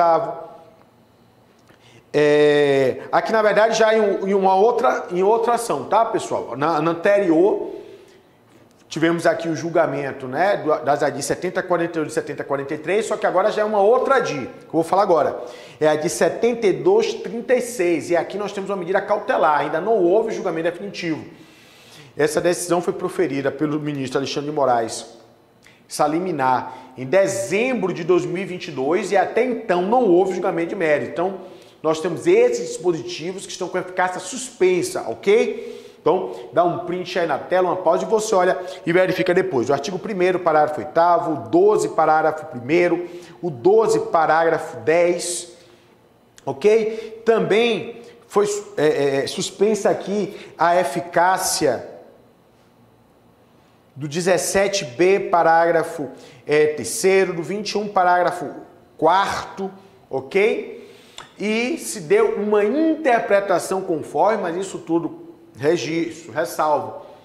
é uma decisão liminar, que ainda não foi confirmada é, no mérito, então se deu interpretação conforme o artigo 23C é, da Lei 8429, no sentido, é, para dizer o quê? Olha, a incidência da Lei 9.096 de 95, né, a lei das, das, eleições, não exclui a incidência da lei de improbidade. Então, olha, tem a lei aí dos partidos, pode incidir lei de partido, pode incidir também a lei de improbidade. Uma não exclui a outra, ok? Ainda no tema de improbidade, trago aqui para vocês essa tabela, também dá um print aí, ok? É para facilitar, porque as sanções foram alteradas pela Lei 14.230, certo? Então eu trago aqui um quadro das sanções que podem ser aplicadas em face da prática dos atos de improbidade. Lembrando que, de acordo com o artigo 12, parágrafo 5, nós temos hoje essa previsão de atos de improbidade de menor potencial ofensivo. Sim, a lei fala em menor ofensa aos bens jurídicos. Nesse caso, uma improbidade que tenha gerado apenas uma pequena ofensa, uma menor ofensa ao bem jurídico protegido pela norma, tutelado pela lei. Então, diz que nestes casos a sanção limitar-se à aplicação da multa. Veja que não é uma faculdade, foi uma obrigatória, uma determinação. Se é improbidade de menor potencial ofensivo, a pena aplicada será apenas, apenas uh, será apenas a pena de multa, sem prejuízo do ressarcimento de dano, que aí não é uma, uma sanção, e da perda dos valores obtidos quando for o caso, ok? Próxima questão, questão de número 8. Vamos lá. A respeito do princípio da supremacia do interesse público sobre o interesse privado, assinale a alternativa correta. Letra A. O princípio autoriza a violação a direitos é, constitucionais fundamentais, sempre que a adoção da medida atender melhor, segundo o juízo do agente público, o interesse público. É evidente que a questão está errada. Nenhum princípio aqui autoriza a violação de direitos constitucionais fundamentais. É, é certo que nós estamos num momento difícil da jurisprudência do Supremo Tribunal Federal, em que, de fato, direitos constitucionais é, fundamentais é, têm sido atingidos, mas é, do ponto de vista formal eles dizem que não. Então, é, apresentam justificativas. Bom, enfim, é, do ponto de vista é, é, da prova, da sua prova, é, você não poderá afirmar que qualquer princípio aí autoriza a violação de direitos constitucionais fundamentais, ok? Isso está errado, ok? Por isso a letra A está errada. Letra B é, está expressamente previsto na Constituição Federal e autoriza que o gestor público atue sem prévia autorização legal quando a medida atender de forma mais adequada ao interesse do Estado? Não. Não está. O princípio da supremacia é considerado um princípio implícito, embora Celso Antônio diga que ele é um pilar, juntamente com o princípio da indisponibilidade do interesse público, seriam os princípios fundantes aí do regime jurídico administrativo, dos quais todos os demais princípios decorreriam, mas é um princípio considerado implícito ok? Também não autoriza o gestor estar é, atuando aí sem prévia autorização legal, não é essa a perspectiva do princípio. C. É considerado por parte da doutrina dominante como base central do regime jurídico administrativo, é a doutrina aqui do Celso Antônio Moreira de Mello, não havendo obras que atestem ter havido uma remodelação do seu conteúdo com a constitucionalização do direito administrativo. Então, essa segunda parte torna a afirmação falsa, porque há várias obras, artigos, falando em uma desconstrução do princípio da supremacia do interesse público e outros autores que falam em uma reconstrução, me parece melhor, até melhor, uma reconstrução, uma remodelação, um redimensionamento, ou então uma nova leitura do princípio da supremacia do interesse público à luz exatamente dessa constitucionalização do direito administrativo e da necessidade de observância dos direitos fundamentais. A letra D diz que a sua aplicação não admite a ponderação com outros princípios constitucionais por se tratar da base do regime jurídico administrativo. O entendimento é que está é, errado, que se admitiria sim essa ponderação, e a letra E diz que a decisão administrativa tomada com base no princípio deve levar em consideração as suas consequências práticas e a sua motivação comprovar a observância do princípio da proporcionalidade. A letra E, ela é verdadeira e, inclusive, ela está com base na LINDB, na Lei de Introdução às Normas do Direito Brasileiro. É uma visão aqui consequencialista. Ao se tomar uma decisão com base no princípio, deve-se levar em consideração as consequências práticas e a necessidade daquela medida, a adequação, o que diz respeito ao princípio da proporcionalidade em suas vertentes seus subprincípios ou, ou regras, né? Seria, melhor seria chamar é, proporcionalidade de regra, mas não vamos entrar aqui nessa polêmica. Então, é, é, os subprincípios da adequação ou utilidade, da necessidade ou exigibilidade e da proporcionalidade em sentido estrito. Então, questão 8, letra E, e eu trago aqui essa previsão da LINDB acerca do tema. Nas esferas administrativa, controladora e judicial, não se decidirá com base em valores jurídicos abstratos, a questão falou com base em princípios, sem que sejam consideradas as consequências práticas da decisão, ok? Então, uma visão aqui consequencialista. E o parágrafo único diz que a motivação demonstrará a necessidade e a adequação da medida imposta ou da invalidação do, de ato ou contrato, ajuste, processo ou norma administrativa, inclusive em face das possíveis alternativas. Quando se fala que a motivação demonstrará a necessidade e a adequação da medida, a necessidade e a adequação, estamos falando, evidentemente, do princípio da proporcionalidade, como disse a questão anterior. Vamos aqui para a questão 9. Também delegado de São Paulo, Considere que a administração pública identificou que um grupo de pessoas esbulhou um terreno de sua propriedade, portanto, um bem público, para, com fins comerciais, realizar a venda de terrenos de forma irregular. Então, imagine o loteamento aí de um, um bem público e venda a terceiros. Após identificar a prática do ilícito e logo após a invasão, João, a autoridade pública local responsável pela gestão do patrimônio imobiliário, dirigiu-se até a delegacia de polícia, buscando apoio policial para a adoção das providências adequadas. Na ocasião, conversou com o delegado sobre o regime de proteção dos bens públicos e os limites das medidas que poderiam ser adotadas pelo Estado na proteção do seu patrimônio. O delegado poderá afirmar João de forma correta que. Então a questão é: será que a administração pode agir independentemente de uma decisão judicial na proteção do bem público, do, seu, do terreno público, do seu, é, de, terreno público que foi esbulhado aqui por particulares? Bom, dizem as alternativas. Letra A. É preciso que a administração adote as medidas necessárias para a reintegração de posse, pois, caso preenchidos os pressupostos legais, os compradores dos lotes poderão adquirir a sua propriedade mediante uso capião extraordinário. A afirmação está completamente equivocada. Na verdade, aqui não haveria posse do bem público, mas uma mera detenção. Além do mais, a Constituição Federal diz expressamente no artigo 183, bem público, ele não pode ser adquirido por uso capião. O Código Civil também. Então, o bem público, ele é imprescritível das características do bem público, né? ele é impenhorável, ele é imprescritível, ele é inalienável, lembrando que é uma inalienabilidade relativa, porque atendendo-se requisitos legais será possível essa alienação ok? Mas em relação ao uso capião, é uma proibição absoluta. Não, nenhum particular poderá adquirir um bem público por uso capião. Então, letra A está errada. Letra B.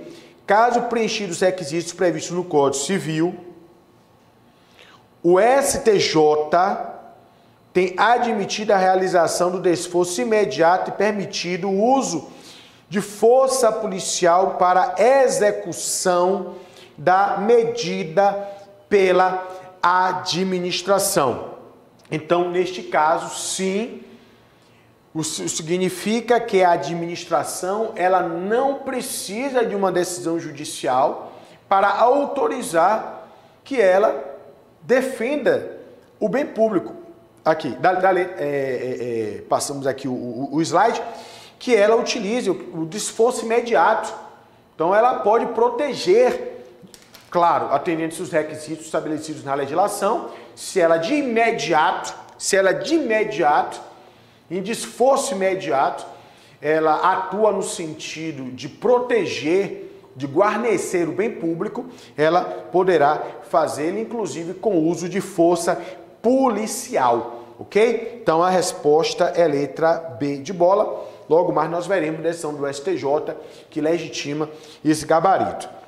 A letra C diz assim: caso os imóveis venham a ser comercializados e seja realizada a venda dos bens para pessoas que venham a fixar as suas residências, a administração deverá indenizá-las pelas benfeitorias necessárias que venham eventualmente realizar. Falso, de acordo com o STJ, não haverá esse dever de indenização, ok? Nesse caso, não há nem posse, há uma mera detenção. A administração poderá agir em desforço imediato, inclusive utilizando força policial, para retirar as pessoas que estão indevidamente em seu terreno. Letra D. Na hipótese de a administração reaver a posse do bem, os compradores das unidades imobiliárias poderão utilizar ações possessórias para reintegração de posse, caso demonstre terem as adquiridas de boa-fé. Falso, como eu falei, não há ação possessória para mera detenção. Letra E. O desforço imediato não pode ser utilizado pela administração. Falso, nós acabamos de falar que pode sim. Então, questão 9, gabarito letra B. De Bahia, temos aqui as disposições pertinentes da Constituição Federal, tanto o artigo 183 como o artigo 191, que diz que imóvel público não pode ser adquirido por usucapião, e também o artigo 102 do Código Civil, que diz isso, que diz isso expressamente. E temos ainda o enunciado número 2 né, da primeira jornada de direito administrativo. Tem, temos jornadas de direito processual civil, de direito administrativo e também de outros assuntos que são promovidas aí pelo Conselho da Justiça Federal, geridas pelo é, são jornadas e administradas pelo Superior Conselho de Justiça Federal e o Superior Tribunal de Justiça. E esse enunciado ele cai com uma luva, ele foi aprovado em 2020 e ele cai com uma luva para a resolução de nossa questão. Olha o que ele diz: o administrador público está autorizado por lei a valer-se do desforço imediato, sem necessidade de autorização judicial, sem necessidade, solicitando, se necessário, força policial, contanto que eu faça preventivamente ou logo após a invasão ou ocupação de imóvel público de uso especial comum ou dominical, ou seja, de qualquer bem público, de uso comum, de uso especial ou dominical. Ele tem o direito de utilizar esse desforço imediato, utilizando força policial e desde que também não vá além do indispensável a manutenção ou restituição é, da posse. Embora o enunciado tenha falado em posse, a súmula 619 de 2018 do STJ diz que a ocupação indevida de bem público configura mera detenção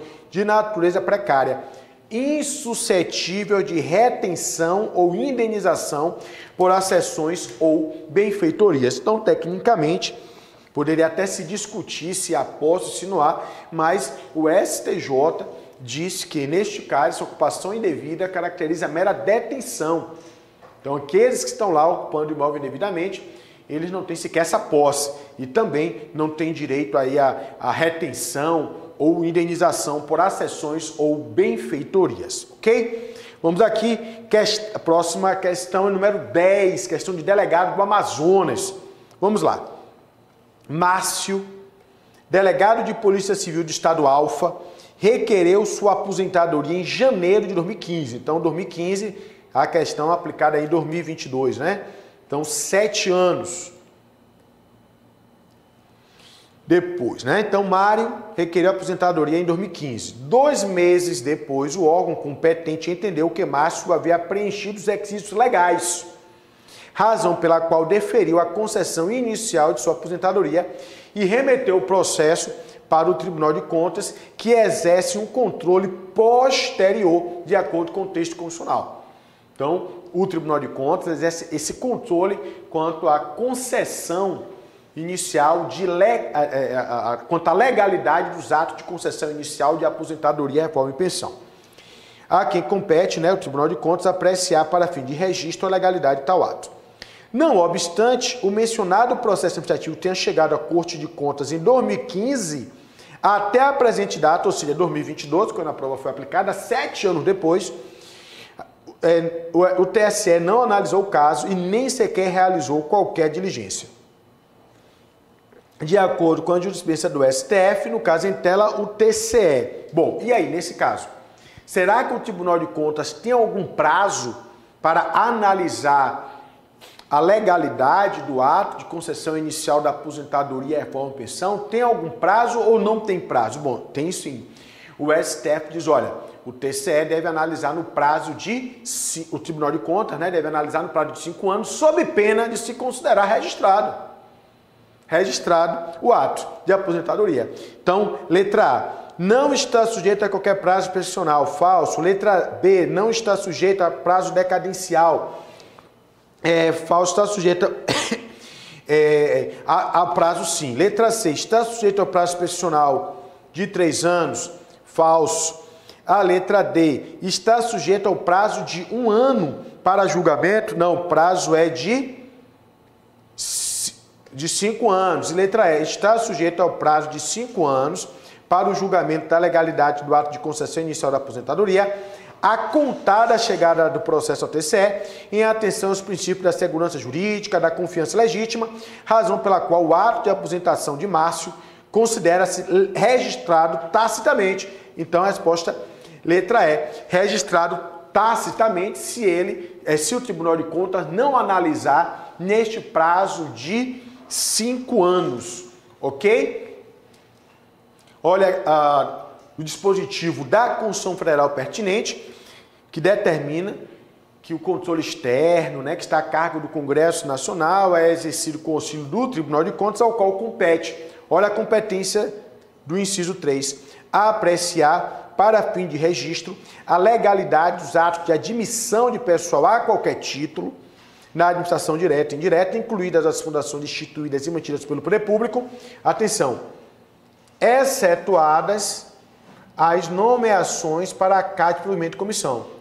Então, o Tribunal de Contas analisa a legalidade dos atos de admissão a qualquer título, com exceção de nomeação para cargo de provimento de comissão. Então, nomeação para cargo de comissão não passa pelo controle do Tribunal de Contas.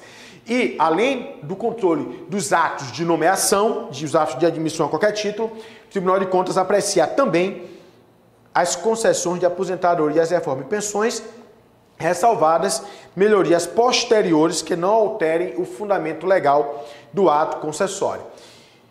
E agora a tese fixada no julgamento do tema 445, que diz exatamente o que a questão cobrou em atenção aos princípios de segurança jurídica e confiança legítima, os tribunais de contas estão sujeitos ao prazo de cinco anos para o julgamento da legalidade do ato de concessão inicial de aposentadoria, reforma ou pensão, a contar da chegada do processo respectivo à corte. E aí, no julgamento desse tema, eu peguei essa ressalva, coloquei aqui embaixo, olha só.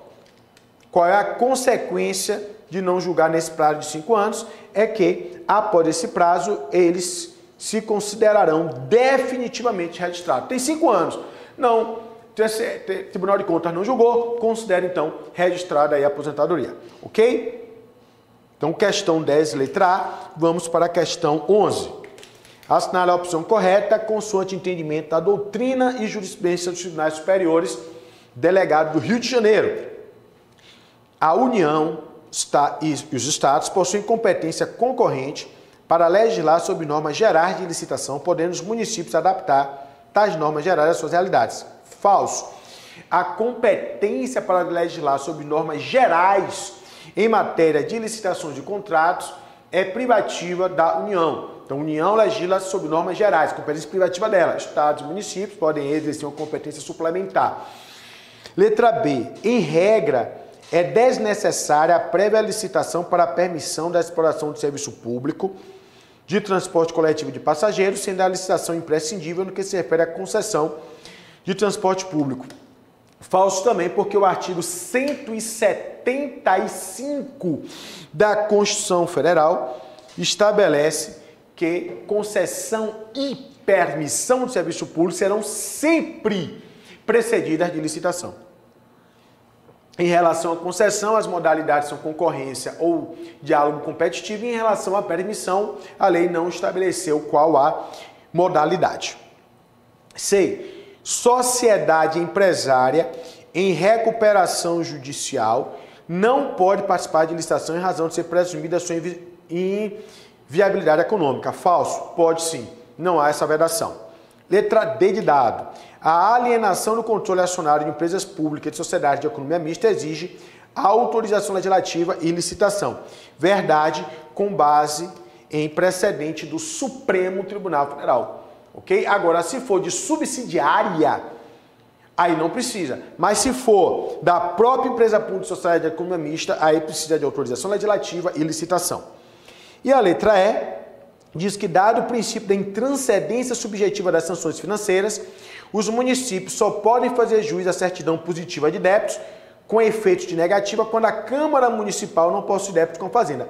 Falso, ok? Então, ainda que haja um débito aqui da, da, da, da Câmara Municipal, apesar de ser, serem órgãos de uma mesma pessoa jurídica que é o município, mas é, o município não pode ser prejudicado, ok? Então, essa a letra E também está, é, ela está errada.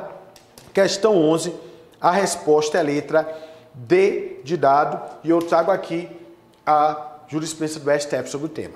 A alienação do controle acionário de empresas públicas e sociedade de economia mista exige, olha só, dois requisitos: autorização legislativa e licitação pública. Agora, se for transferência de controle de subsidiárias e controladas, como eu já havia explicado, não se exige nem a anuência do Poder Legislativo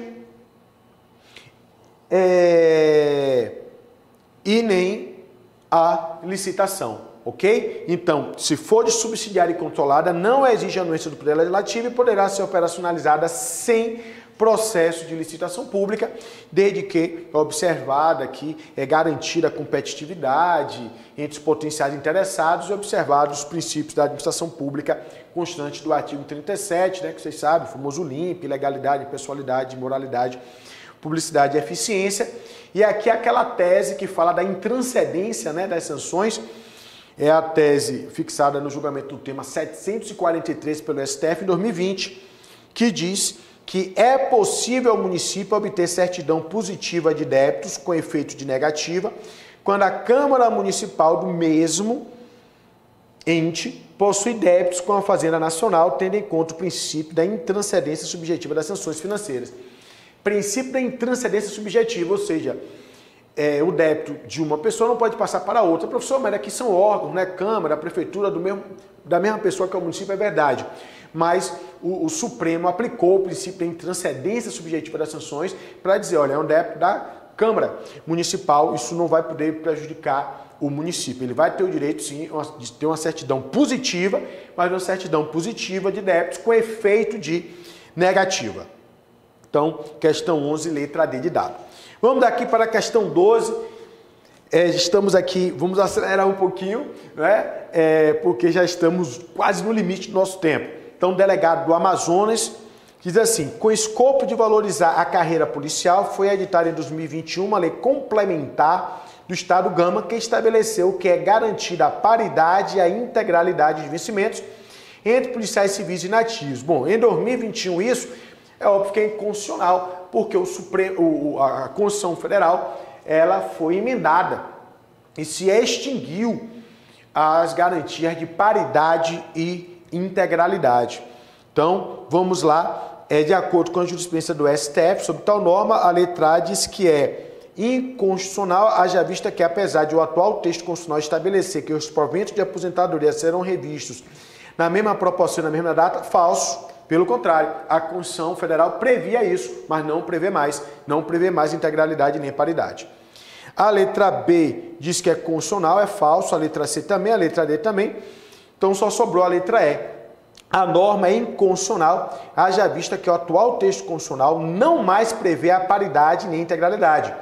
estabelecendo apenas que é assegurado o reajustamento dos benefícios para preservar-lhes em caráter permanente o valor real, conforme critérios estabelecidos em lei. Então, a afirmação alternativa correta, questão 12, letra E.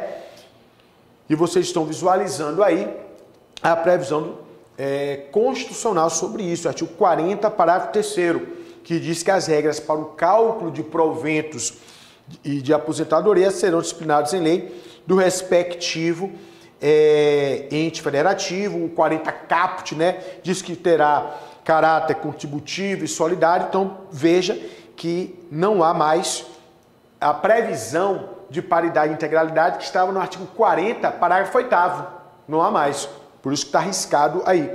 O artigo 40, parágrafo 8 hoje prevê apenas, como disse a questão, reajustamento dos benefícios para preservá-los em caráter permanente o valor real, conforme critérios estabelecidos em lei. Ok? E aqui uma decisão do STF de 2020 que entendeu é, inconstitucional uma lei que fazia exatamente isso. Estendia para policiais, estendia para policiais a paridade e a integralidade. E o Supremo Tribunal Federal entendeu que esta norma violava tanto o parágrafo 3 que eu que chamei a atenção, como o parágrafo 8 do artigo 40.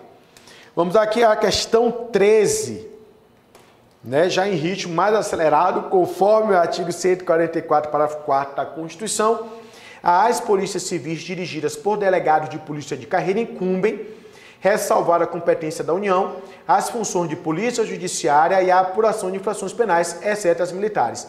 Em face desse dispositivo e do regime jurídico do poder de polícia, então aqui o tema é sobre poder de polícia, eu irei apresentar logo a questão, a afirmação correta, pessoal, por conta do tempo, e a afirmação correta é a letra C, que diz o poder de polícia é, o, o, que diz que os delegados de polícia de carreira podem exercer polícia administrativa. Isso porque, em verdade, os órgãos administrativos é, é possível que a, a, a, polícia exerça tanto a polícia judiciária como a polícia administrativa, a depender da natureza do ilícito que está envolvido no tema, é, na, na, na, atuação. Se é um ilícito administrativo, polícia administrativa, mas se é um ilícito penal, estamos falando de polícia judiciária.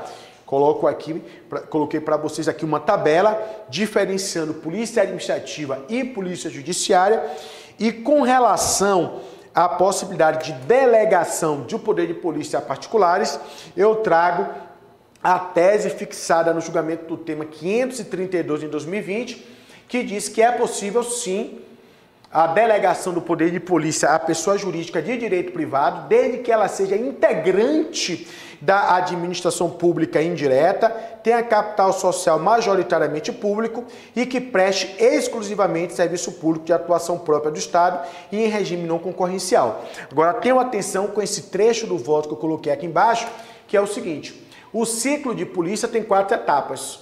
A ordem, que é a etapa normativa, então a etapa de ordem, a etapa de consentimento, fiscalização e a sanção, nessa ordem, ok? Então, a etapa de ordem, que é a etapa normativa, a etapa de consentimento, terceira etapa, fiscalização e depois é sanção. O Supremo Tribunal Federal disse que é a única fase do ciclo de polícia que é absolutamente indelegável é a primeira etapa, a de ordem, ok? Então, que é a etapa normativa. Então, a única etapa absolutamente delegada, indelegável, olha aqui, a ordem de polícia. Ok? Já ultrapassou o tema. Então, a questão é, 14 é uma questão sobre princípio da publicidade, tá, pessoal? A afirmação correta aqui é a letra A, no sentido de que é legítima a publicação em sítio eletrônico mantido pela administração dos nomes dos servidores e do valor dos correspondentes vencimentos e vantagens pecuniárias, ressalvando-se os descontos de caráter pessoal. Então, essa afirmação corresponde a uma tese que foi fixada no julgamento do tema 483 de 2015, no sentido da legitimidade dessa publicação, inclusive em sítio eletrônico mantido pela administração, dos nomes dos seus servidores e do valor dos correspondentes vencimentos e vantagens pecuniárias. Todavia, não poderá ser objeto de publicidade é divulgação aqui de questões pessoais, ok? Então eu trago aqui alguns detalhes do julgamento, ok? Alguns detalhes desse julgamento e a, a, a visão da própria Controladoria Geral da União, no sentido de que descontos de caráter pessoal, né, como pagamento de pensões, empréstimos consignados, eles não precisam ser objeto, não devem ser objeto de publicidade, porque aí deve prevalecer a intimidade, a vida privada. O STF disse que remuneração é dado pertinente à função pública e por isso não atinge a intimidade. É um dado da função pública e não da vida privada. Ok? E disse também que é um ônus de quem vai exercer uma função pública muito grande. Ela fala é, que Maria né, trafegava seu carro na ponte Rio-Niterói durante a manhã, durante a manhã a caminho do trabalho, sentido Rio de Janeiro, quando em meio ao trânsito lento foi surpreendida por uma viatura da Polícia Civil que passou de forma brusca e acelerada, causou um acidente. Apesar do acidente e dos danos materiais aos dois veículos, não houve feridos. Após confeccionar a declaração de acidente de trânsito no site da Polícia Rodoviária Federal, Maria compareceu ao plantão da Corregedoria Geral da Polícia para noticiar o ocorrido tendo indicado, tendo indicado o número da unidade policial. É, em sua apuração preliminar, a corregedoria identificou os policiais civis que estavam na viatura, assim como constatou que eles não se dirigiam a nenhuma diligência policial na ocasião, apenas buscavam fugir do engarrafamento. Após regular a sindicância, os policiais foram punidos. Ao tomar conhecimento do resultado da apuração da Corregedoria Geral da Polícia Civil, Maria então decidiu ajuizar a ação para obter do Estado de reparação civil, tendo em vista os danos causados ao veículo. A questão aqui é discutir. Esta ação deve ser proposta contra os policiais, contra o Estado, contra o Estado e os policiais formando um litisconsórcio passivo. Bom, o Supremo também já definiu o tema. A ação deve ser proposta exclusivamente contra o Estado e ponto final. E o Estado, caso condenado, poderá, ah, deverá, em face do princípio de disponibilidade, deverá ajuizar a ação de regresso. Lembrando que nesta ação de regresso a responsabilidade do agente público é sempre subjetiva. Então, por isso, passarei aqui a alternativa correta, que diz que a ação por danos causados por agente público deve ser ajuizada contra o Estado ou contra a pessoa jurídica de direito privado prestadora de serviço público, se for o caso, sendo parte ilegítima para a ação ou autor do ato, em observância ao princípio da dupla garantia, assegurado o direito de regresso contra o responsável nos casos de dolo ou culpa. E aqui eu trago a tese que foi fixada no julgamento do tema 940 sobre esse tema, ok? Então, só há uma única alternativa correta, é a ajuizamento da ação contra o Estado.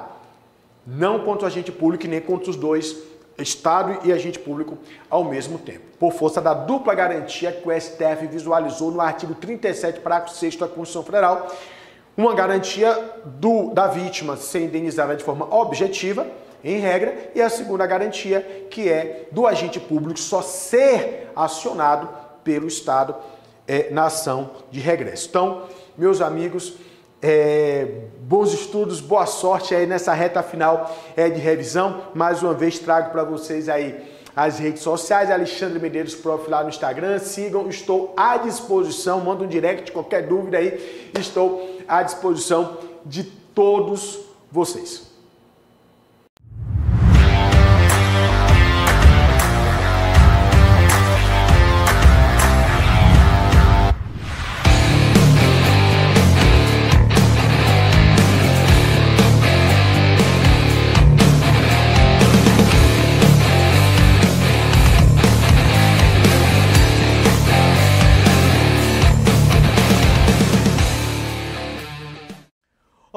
Concurseiro, minha amiga concurseiro, meu futuro amigo delegado, minha futura amiga delegada, seja muito bem-vindo, muito bem-vinda para a nossa revisão. Tá certo? Então você não tem tempo a perder essa semana de revisão que somente o Juiz 21 faz especialmente para você. Ela vai ser completa. E nós vamos começar aqui com direito constitucional, ok?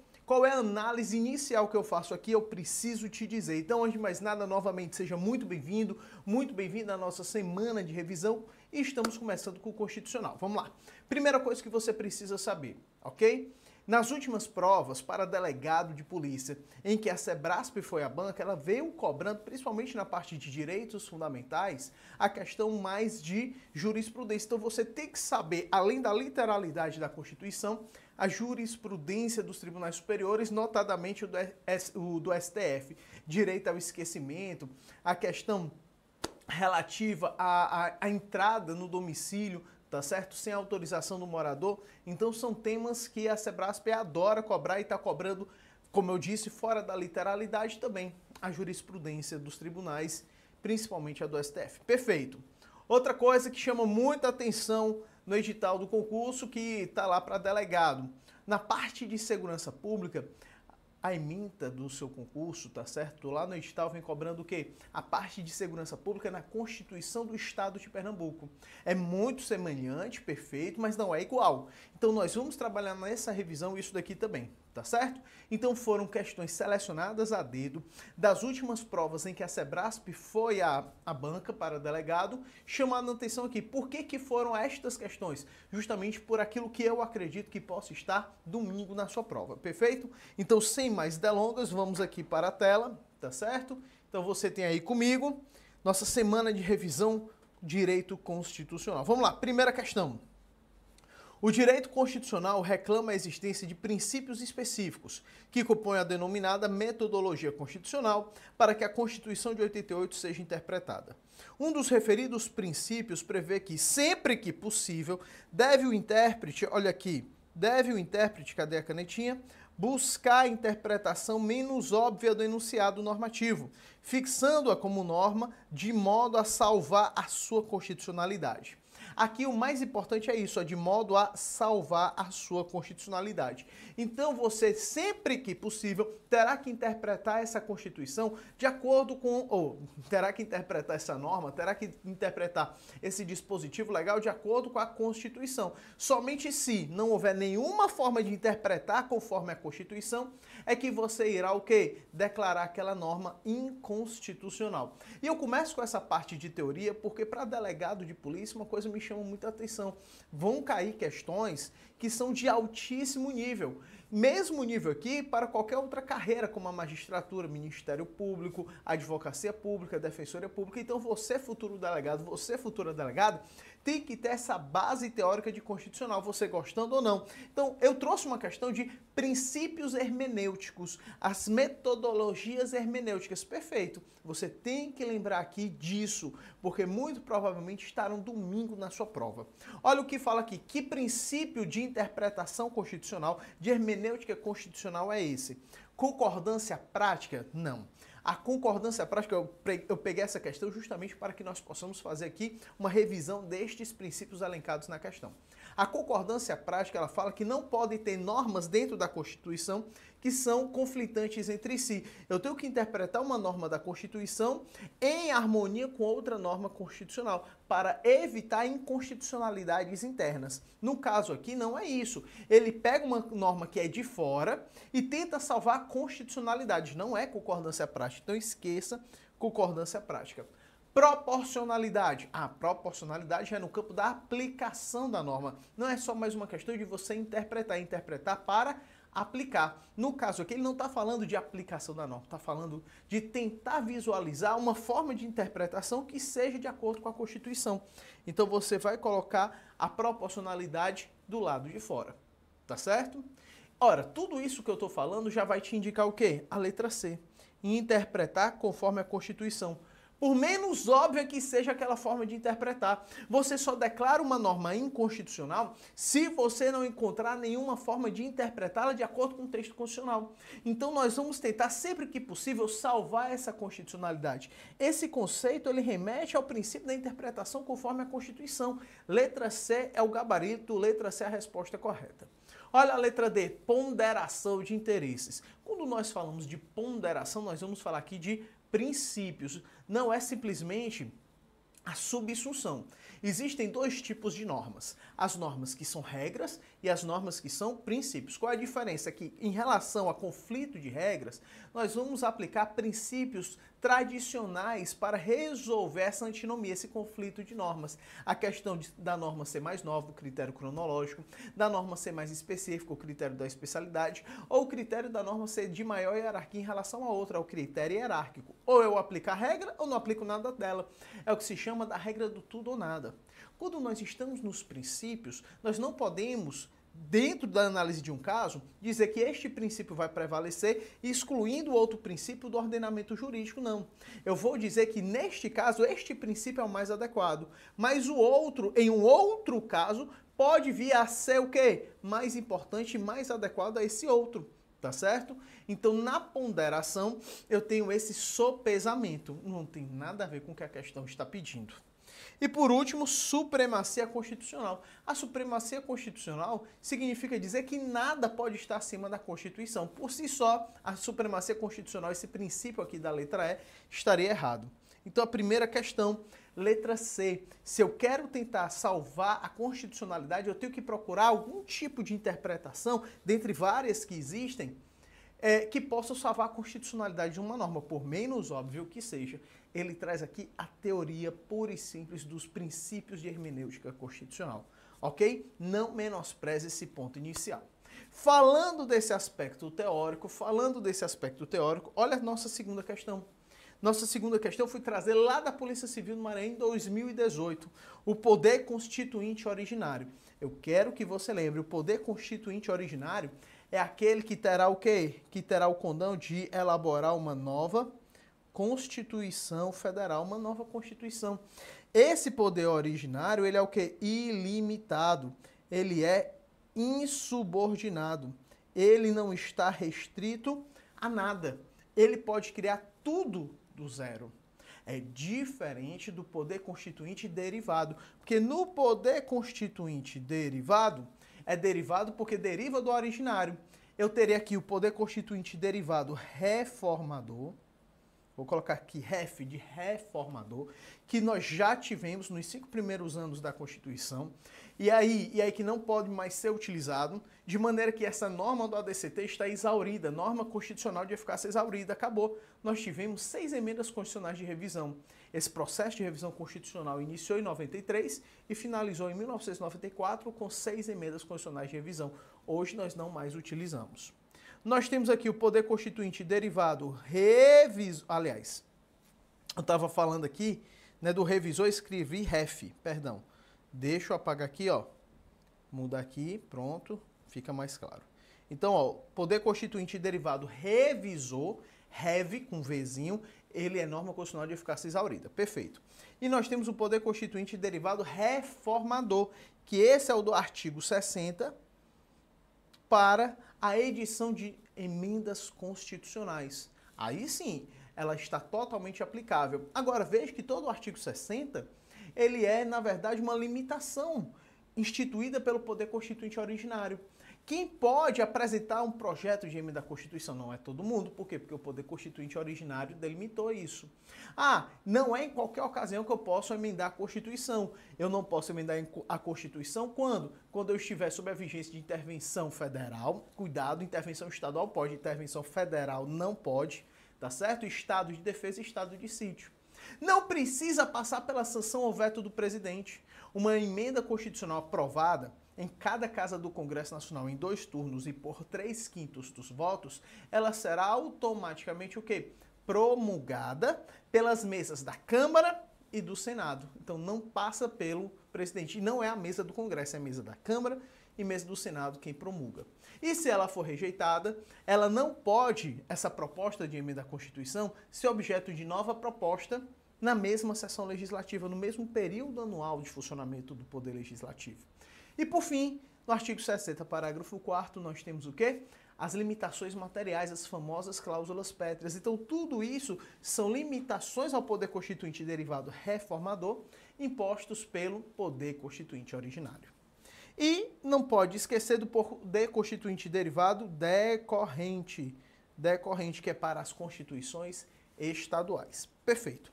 Contudo, ele pergunta sobre o poder constituinte originário. O poder constituinte originário é fático e soberano, incondicional e preexistente à ordem jurídica. Professor, será que é mesmo? Estou em dúvida. Quando é a letra A que é verdadeira, a gente faz o quê? Pula. Letra B, ele é reformador, não é, poder, não é poder reformador. Ele é decorrente normativo, decorrente é fruto de poder constituinte derivado.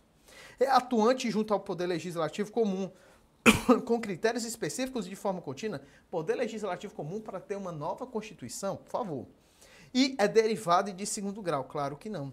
Então, realmente, é aqui nós temos a letra A. Ele é fático e soberano, ele é insubordinado, ele é incondicional, ele é ilimitado. E professor, e por que, que ele é preexistente à ordem jurídica? Porque a ordem jurídica só começa com a nova Constituição. Tanto que, cuidado que você vai ser futuro delegado, futura delegada, cuidado. Nós não podemos falar que é inconstitucional norma anterior à Constituição de 88. Não. Nós só podemos dizer se uma norma é constitucional ou não após 5 de outubro de 88, após a promulgação da Constituição Federal. Em relação às normas anteriores à Constituição de 88, nós vamos dizer se elas foram recepcionadas ou não, se foram recebidas ou não. Mas nós não vamos falar de inconstitucionalidade ou constitucionalidade, tendo em vista isso daqui. Por quê? Porque tudo começa da nova Constituição. Agora, a nova Constituição só existe devido ao poder constituinte originário, então ele é pré-existente. Entenda isso. Perfeito? Então, segunda questão, letra A. Essa base teórica, eu repito, não canso de repetir, você precisa ter para não se dar ao luxo de errar na sua prova domingo. Perfeito? Terceira questão. Aí essa questão aqui mais tranquila, é aquela questão que você tem que levantar as mãos para o céu e agradecer e não errar. Não errar. É outra questão que você não pode se dar ao luxo de errar. Constitui objetivo fundamental da República Federativa do Brasil. Você vai ter isso aonde? Lá no artigo terceiro. E veja que não é uma questão de muito tempo atrás, não, é uma questão para delegado da Polícia Civil do Espírito Santo de 2022. Então veja que aqui o Sebraspa ele faz o quê? Ele mescla essas questões fáceis, médias e difíceis. Cuidado com isso, atenção a isso, é isso que eu quero lhe trazer nessa revisão, quero que seja completa, ok? Então vamos lá, artigo 3 você sabe que o objetivo do Brasil é a Conga. Tá certo? Se você vem assistindo as aulas, ou mesmo que você não venha assistindo, você tem que saber. A conga é o objetivo do Brasil, tá certo? Mas não é. Esqueça a música, tá certo? Lembre, tá certo? Da conga aqui, a questão né, do, a, a, da expressão minemêutica, para você se lembrar, mas não, esqueça a música. Conga, com, de construir uma sociedade livre, justa e solidária o GA, de garantir o desenvolvimento nacional. Quem acerta conga não erra, erra de erradicar a pobreza e a marginalização e reduzir as desigualdades sociais e regionais. Não erra porque vira pró, profissional na conga, pró de promover o bem de todos. Então, olha só, artigo 3 está aí. Conga erra pró, construir, garantir, erradicar e reduzir e pró de promover. Cuidado para você não confundir com os fundamentos que estão lá no artigo 1 os fundamentos do só se de vaplu. Só se de vaplu. São os fundamentos lá do artigo 1 soberania, cidadania, dignidade da pessoa humana, valores sociais do trabalho e da livre iniciativa e o pluralismo político. Perfeito? Agora atenção. Artigo 1 são os fundamentos, artigo 3 são os objetivos. OK. Todos eles são princípios fundamentais. Tudo aquilo que estiver do artigo 1 ao artigo 4 são princípios fundamentais. Atenção a isso. Então vamos lá. Constitui o objetivo da República Federativa do Brasil. Letra A. O valor social do trabalho e da livre iniciativa. Opa, isso é sócio de Vaplu, não é da Conga. B. Solução pacífica dos conflitos. Apesar de só Aqui, né, de sócio de vapor, ou esse só é de soberania. Essa solução pacífica dos conflitos está lá como princípio das relações internacionais, no artigo 4 Então está errado. Repúdio ao racismo e ao terrorismo, está lá no artigo 4 também não é objetivo. Dignidade da pessoa humana, opa, tá aqui, ó, só se diva plum. Então só nos restou a letra E. A garantia do desenvolvimento nacional. Garantia, tá aqui. Ah, professor, mas ele trocou o verbo garantir pelo substantivo garantia. Sim, tá errado? Não, tá certo? Então cuidado com isso. A garantia do desenvolvimento nacional realmente é um dos objetivos da República, junto com construir uma sociedade livre, justa e solidária, erradicar a pobreza e a marginalização e reduzir as desigualdades sociais e regionais e promover o bem de todos. Perfeito? Tranquilo? Vamos para a próxima. Quarta questão, aqui uma questão mais longa, mais bem elaborada. Perfeito? Vamos lá. Suponha que determinado canal na internet esteja divulgando a história de um crime que tem ocorrido em município brasileiro há mais de 50 anos. Suponha ainda que a informação acerca desse fato verídico tenha sido licitamente obtida e divulgada, e que o condenado pelo crime ajuize a ação na qual solicite a suspensão da divulgação do fato, alegando ter direito constitucional ao esquecimento. Nessa situação, a referida alegação é, muita atenção, vem aqui comigo, tá certo? Eu vou trabalhar essa questão que mexe um pouquinho com a jurisprudência do STF. Olha só, já fazia 50 anos que o crime tinha sido cometido e mesmo assim vem à tona novamente prejudicando a imagem dessa pessoa. E ele está dizendo, olha, pare de é, é, é, promover esse programa sobre esse fato há mais de 50 anos, há meio século atrás, porque eu tenho direito ao esquecimento, eu não quero que as pessoas lembrem disso. Perfeito, mas o, o fato é verídico e realmente ocorreu. O que foi que o STF decidiu? Nesse caso chegou até o STF, o STF disse, não, nós temos aqui a liberdade de informação. Neste caso, o canal, né, o, o meio de informação, o canal de comunicação social, ele tem direito de promulgar isso daí. Agora é o seguinte, o fato é verídico, realmente ocorreu. Se fosse algo que era inverídico, se fosse algo que realmente lhe prejudicasse material e moralmente, você teria aí a opção de fazer o quê? O pedido de indenização, mas o simples fato de divulgar algo que é verídico e que aconteceu há muito tempo não lhe dá esse direito. Por quê? Porque o direito ao esquecimento, ele não é albergado, ele não é protegido, ele não está em consonância com os valores da nossa Constituição. Então, o direito ao esquecimento, ele não é protegido pela nossa Constituição Federal. Isso, inclusive, foi o, o tema, se você quiser tema 786, anote aí, tema 786 de repercussão geral do STF, tá certo? Então, o direito ao esquecimento não é compatível com os valores e demais direitos protegidos pela Constituição Federal.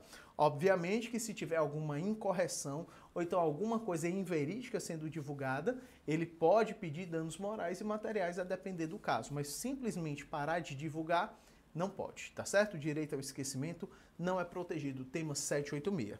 Voltando então aqui à nossa questão. Nessa situação, a referida alegação é, é incompatível com a Constituição Federal. Então vamos lá. A referida alegação ela é procedente, pois o referido direito embasa-se na proteção da honra individual. Pois o referido direito embasa-se na proteção da honra individual? Não, coisa nenhuma. Letra A tá o quê? Falsa. Tá certo? Letra B. Ela é improcedente pois a ideia de um direito ao esquecimento é incompatível com a Constituição. Perfeito. Letra B já é a resposta correta. Letra B já é a resposta correta. Tema 786 de repercussão geral lá no STF. Combinado? Tranquilo? Então vamos lá. Olha a letra, a letra C, a letra D estão erradas, mas interessante a letra E improcedente, visto que os parâmetros constitucionais não incluem a proteção da personalidade em geral. Que é isso? Inclui sim os direitos da personalidade. Eu tenho o caput do artigo 5 eu tenho aqui o inciso 9 do artigo 5 eu tenho o inciso 10, eu tenho o inciso 14, vários direitos da personalidade que estão sendo protegidos pela Constituição. Então o problema aqui é a justificativa dada pela letra E. Próxima! De acordo com o entendimento do STF, mais uma questão aí falando de jurisprudência, salvo em caso de flagrante delito ou desastre ou para prestar socorro, a polícia judiciária só pode invadir domicílio alheio sem consentimento do morador, a fim de apreender quaisquer objetos que possam interessar a investigação criminal, se atendidos dois requisitos constitucionais que respeitam o princípio do. Opa, essa questão aqui eu achei super inteligente. Por quê? Porque o delegado, o futuro delegado, a futura delegada, ela tem que lembrar do artigo 5 inciso 11, a inviolabilidade de domicílio. E aí você já sabe que o conceito de domicílio para o STF não, é, não abrange apenas a casa, a residência da pessoa, mas se estende aos locais de atuação profissional, como salas e escritórios, consultórios, perfeito? Então, neste caso, o conceito de domicílio ele é alargado pela jurisprudência do nosso Supremo Tribunal Federal. Agora é o seguinte, ele fala o seguinte, artigo 5 inciso 11, a pessoa só pode entrar na casa de outra com o consentimento do morador, não é com do proprietário, é do morador. Então, se você mora de aluguel, você é um morador. ok? Então cuidado com isso daí, com o consentimento do morador. E aí ele coloca na questão, salvo em caso de flagrante delito, para prestar socorro em caso de desastre. Tá tudo aqui. Ou então, ou então, tá certo? Por determinação judicial durante o dia. Determinação judicial durante o dia. Então, esses são os dois requisitos. Determinação judicial durante o dia. Professor, determinação judicial? Sim. O que significa isso? É a chamada cláusula de reserva. Não fale cláusula de reserva de plenário, tá certo? Isso é controle difuso de constitucionalidade lá nos tribunais. Eu, toda vida que eu vou explicar isso daqui, o aluno se antecipa e fala cláusula de reserva de plenário. Não. Cláusula de reserva de jurisdição. Atos que só podem ser praticados pelo poder judiciário. Então, essa determinação judicial, como o próprio nome já diz, só vem do poder judiciário. Cláusula de reserva de jurisdição. Ah, professor, quero, quero outro exemplo. Perfeito, vem aqui comigo. Quer outro exemplo de cláusula de reserva de jurisdição? Pois bem, artigo 5 inciso 12, eu tenho os sigilos. O sigilo de correspondência, o sigilo de dados, de comunicação telegráfica e telefônica. Eu tenho quatro sigilos lá de forma expressa no artigo 5 inciso 12 da Constituição. Contudo, a parte final do inciso 12 fala que o último sigilo, que é o de comunicação telefônica, somente pode ser quebrado por determinação judicial. O que significa isso? Que o sigilo de dados, o sigilo de correspondência e o sigilo de comunicação telegráfica, a depender do caso, pode ser quebrado por determinação de outros órgãos que não o Poder Judiciário, que não o órgão do Poder Judiciário, por exemplo, uma CPI.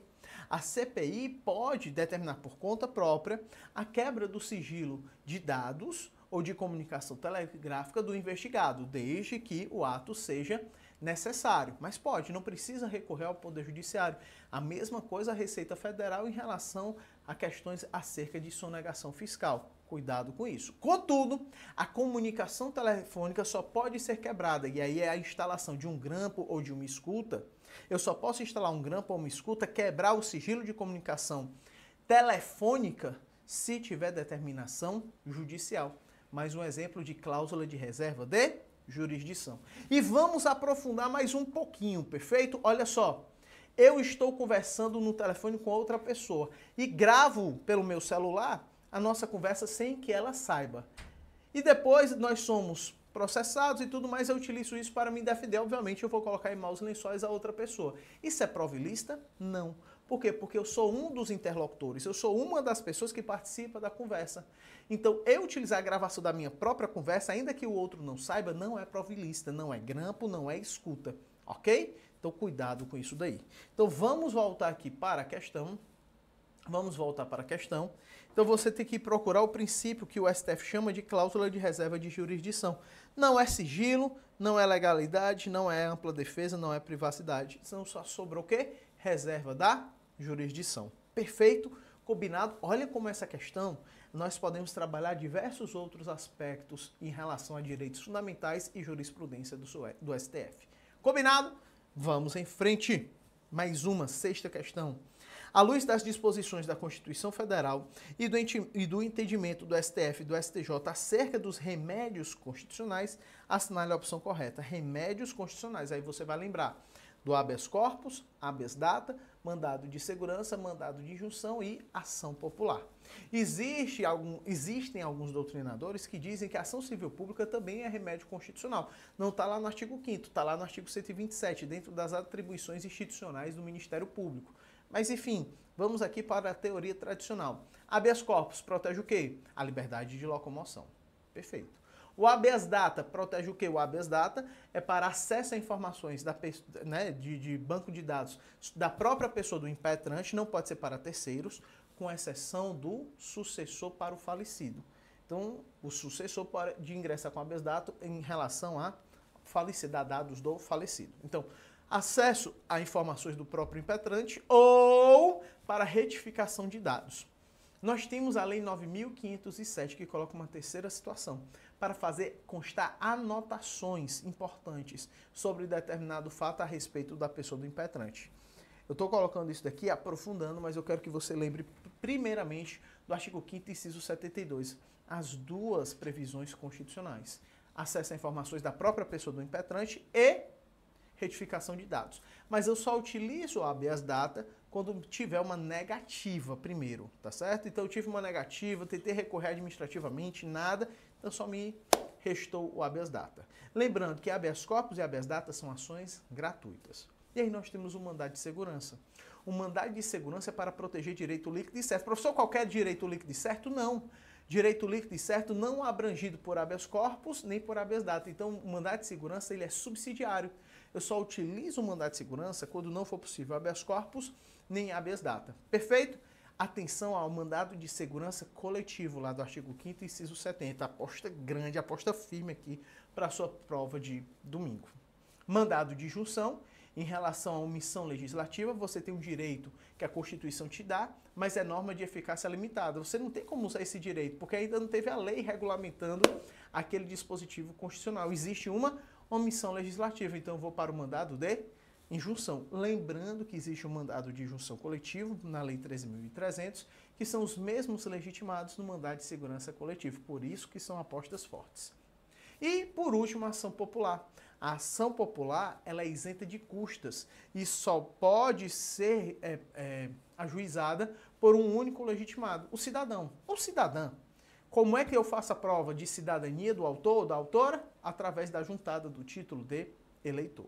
Combinado? Fizemos esse panorama geral. Então ele diz assim: olha, eu quero saber a jurisprudência acerca dos remédios constitucionais. Te vira, não diz nem qual é o remédio constitucional. Vamos para a letra A. É cabível condenação em honorários advocatícios em ação de habeas data? Não. Onde é que está isso? Está lá na Lei 9.507. Lei 9.507 de 97. Não pode haver essa condenação em honorários advocatícios, até porque a ação de habeas data é o quê? Gratuita. Então essa gratuidade, ela se estende inclusive para o não pagamento de honorários sucumbenciais. Bem, o habeas data, ah, então ele está cobrando aqui habeas data, perfeito o habeas data não pode ser utilizado para obtenção de dados do contribuinte, que conste nos sistemas dos órgãos facendários? Claro que pode. Olha só, acesso a informações da própria pessoa do impetrante, constante de bancos de dados público ou banco de dados de caráter público. Eu pago para ter acesso, como Serasa e por aí vai. Então aqui é claro que pode. Meus dados, como é que estão os meus dados perante a Receita Federal? Não, não vou te dar. Por que não? Eu tenho direito. Eu não estou pedindo informações de terceiros, eu estou pedindo a minha própria pessoa. Caso não dê, eu recorro administrativamente não conseguir administrativamente. Vou ter que ir judicialmente através do habeas data. C. A ação de habeas data é personalíssima. Claro, perfeito, exatamente isso. Sem nenhum problema. A regra é eu só posso utilizar para mim mesmo. O impetrante é o paciente, com uma exceção que eu falei agora há pouco. Os sucessores do falecido. Eu quero saber como é que estava a situação do falecido em relação à contribuição dele perante o regime geral de previdência social, perante o INSS. Aí o INSS vem e diz: "Não, não vou lhe dar". Por que não? Não, porque você não é a pessoa dele. Sim, mas eu sou o sucessor, eu era o dependente, eu sou o herdeiro, por aí vai. Então, admite-se essa ressalva, perfeito? Então vamos lá. Ação de habeas data é personalíssimo. Bacana razão porque os sucessores do titular dos dados não possuem legitimidade para a impetração do remédio em seu lugar, se os dados do, do falecido foram objeto da impetração. Não, isso aqui é a exceção, isso aqui é a ressalva ao caráter personalíssimo do habeas data. Então, neste caso, a letra C está errada. D. É admitida a figura do habeas data coletivo, cujos legitimados são os mesmos que o do mandado de junção coletivo. Não existe isso. Só existe mandado de segurança coletivo, que está lá no artigo 5 inciso 70 da Constituição, regulamentado pelo artigo 21 da Lei 12.016 de 2009, e o mandado de junção coletivo, que está lá no artigo 12 da Lei 13.300. Pronto, não tem, a, não tem aqui a figura do, do habeas data coletivo. Então só nos resta a letra E. O habeas data não pode ser utilizado para obtenção de cópia de processo administrativo. Correto. Porque eu não quero processo administrativo. Você não pode obter processo administrativo. Você quer o quê? Informações sobre sua própria pessoa, retificação de dados. Eu não quero a cópia de um processo administrativo. Eu quero, aqui, por exemplo, se eu fui sancionado na esfera administrativa, se eu não fui, é uma coisa. E aí eu posso requerer, requerer o processo administrativo com outros instrumentos, mas não com o habeas data, porque o habeas data ele tem hipóteses bem definidas de cabimento. Então a letra E realmente é a correta. Olha aí que questão maravilhosa para a gente fazer uma revisão não só do habeas data, mas também dos remédios condicionais como um todo. Sétima. Suponha que João. Ah, agora a gente já sai do artigo 5 e já está indo para a questão de nacionalidade. Atenção aqui, tá certo? Deixa o professor beber água. Enquanto isso, curta aqui a nossa, a nossa revisão, tá certo? É, é, faça isso daí, o trabalho dos professores para ser valorizado. E aproveitando que eu estou bebendo água, agradeço a sua participação aqui. Um abraço a todos vocês, essa dedicação de vocês que merece ser recompensada com aprovação na prova. Tenho certeza disso. Hum. Vamos lá. Suponha que João nasça no Brasil e seja filho de pai e mãe argentinos que estejam em território brasileiro a serviço do Uruguai. Hum, interessante. Suponha ainda que Sandro nasça na Itália e seja filho de pai brasileiro que resida há algum tempo no exterior por interesse pessoal de estudo. Perfeito. Suponha também que Jaqueline nasça na Espanha e seja filha de mãe brasileira a serviço da República Federativa do Brasil naquele país. Interessante. Nessa situação, no momento do nascimento, é ou são brasileiros natos? Olha só.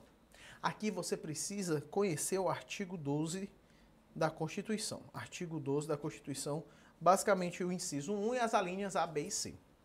Ele está falando no momento do nascimento. Então vamos lá, a gente tem o juiz solis e o juiz sanguíneos. O juiz solis é quem nasce em território brasileiro.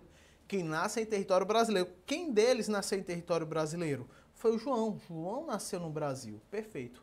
Ainda que seja filho de pais estrangeiros. Peraí, mas João é filho de pais estrangeiros. Desde que estes não estejam a serviço de seu país. Ah, professor, o João não é brasileiro nato porque os pais deles estão a serviço do Uruguai. Aí eu pergunto assim, como é, cara pálida? Vem cá. Meu amigo, minha amiga, é o seguinte, o pai e a mãe deles são quê? Argentinos. E eles estão a serviço de que país? Uruguai. Por que, que ele não vai ser brasileiro nato? Professor, porque ambos os pais são estrangeiros e estão a serviço do Uruguai. Meu amigo, minha amiga, atenção, olha que pegadinha maravilhosa. O que é que fala a Constituição? Desde que os pais estrangeiros estejam a serviço de seu país. Até onde eu saiba, se o pai e a mãe são argentinos, é porque eles nasceram na Argentina. Eles estão a serviço do Uruguai. Quem nasce no Uruguai é uruguaio, não é argentino. Então eles estão a serviço de outro país e não a serviço de seu país. Muita gente errou essa questão lá para delegado da Paraíba porque não se atentou a isso daqui. Pai e mãe argentinos nasceram na Argentina, meu amigo, minha amiga. Eles estão a serviço do Uruguai, é outro país. Então o João é brasileiro nato? Sim, é brasileiro nato. Porque apesar dos pais dele serem estrangeiros, não estão a serviço do seu país, estão a serviço de outro país. Os pais dele são argentinos a serviço do Uruguai, são países distintos. Então João é sim brasileiro nato. Olha que maravilha. Que pegadinha. Dois. Agora o Sandro não. O Sandro nasceu na Itália. O Sandro nasceu na Itália. Então, ou ele é filho de pai e mãe brasileiro, pai ou mãe brasileiros, que estão na Itália a serviço da República Federativa do Brasil, ou então ele deverá ser registrado em repartição brasileira competente no exterior. No caso, a questão não fala isso. O pai dele estava por interesse pessoal de estudo, não fala em repartição brasileira competente, em registro, não fala que ele tem que vir residir, morar, uh, residir no Brasil optar pela nacionalidade brasileira. Então, se a questão não deu essas informações, você não pode supor. Sandro não é brasileiro nato, pelo menos até aqui. E três, Jaqueline nasceu na Espanha e a mãe brasileira dela está a serviço da República Federativa do Brasil. Opa, então Jaqueline é brasileira nata também. Vem comigo, onde tiver Sandro, você risca. Aí você fica entre as letras B, C e E. Obviamente, se João e Jaqueline são brasileiros natos, você vai marcar a letra B de bola. Maravilha isso daqui. Maravilha isso daqui. Mais uma de nacionalidade. Olha só, essa questão passada foi de 2022 na Paraíba. Olha essa agora de 2017 em Mato Grosso, como eles cobram nacionalidade sobre diversos vieses que eu quero que você preste atenção. O boliviano Juan e a argentina Margarita são casados e residiram por, algum, por alguns anos em território brasileiro. Durante esse período, nasceu em território nacional Pablo, o filho deles. Opa! Então eles estão morando em território brasileiro. À primeira vista, você já sabe da pegadinha da questão anterior, Pablo parece ser brasileiro nato. Se vai ser boliviano e argentino também não nos interessa. A gente precisa conhecer primeiro a nossa Constituição para depois fazer o estudo comparado das outras. Mas está aqui. Não está falando que, ele, que o boliviano está a serviço da Bolívia, nem que Margarita está a serviço, tá certo, da Argentina. Então pronto. Nessa situação hipotética, de acordo com a Constituição, Pablo será considerado brasileiro nato. Pablo será considerado brasileiro nato. E aí a questão vai te perguntar acerca dos cargos privativos de brasileiros natos. É o famoso mp3.com. Ministro do STF, presidente da República e o vice-presidente, presidente da Câmara, do Senado, carreira diplomática, oficial das Forças Armadas e ministro de Estado da Defesa. Bacana. Letra A, ele é naturalizado? Não. B, ele é nato e poderá vir a ser ministro de Estado da Defesa. Perfeito. Ele é nato, mas não pode ser presidente do Senado Federal? Se é nato, ele pode sim ser presidente do Senado Federal. Não é naturalizado, então você já corta as letras D e E, sobrou B de bola. Perfeito? Lembrando o seguinte, não se pode fazer distinções entre brasileiros. Perfeito, está lá no artigo 5 e está lá no, no artigo 19, inciso 3. Ressalvados os casos da Constituição. A primeira hipótese, vem para cá vem para cá, tá certo? A primeira hipótese de distinção entre brasileiros natos e naturalizados está aí. Os cargos privativos de brasileiros natos no artigo 12, parágrafo 3 Segunda hipótese de distinção entre natos e naturalizados, a questão da extradição. Lá no artigo 5 inciso 51. Vai anotando o que eu estou falando, viu? Eu estou vendo que você não está anotando, está só escutando. Pega a caneta e escreve isso daí que eu estou falando, ok? Então, ó, artigo Artigo 12, parágrafo 3 os cargos privativos de brasileiros natos. E o artigo 5 inciso 51, L e um I. Beleza. Brasileiro nato jamais pode ser eh, eh, extraditado. Já o naturalizado pode, por crime comum cometido antes da naturalização ou por comprovado envolvimento em tráfico de drogas, é, é, é, comprovado envolvimento em tráfico de drogas entorpecentes. Perfeito? Beleza? Só que tem uma terceira exceção que talvez você não conheça. Está lá no artigo 222 da Constituição. Artigo 222 da Constituição.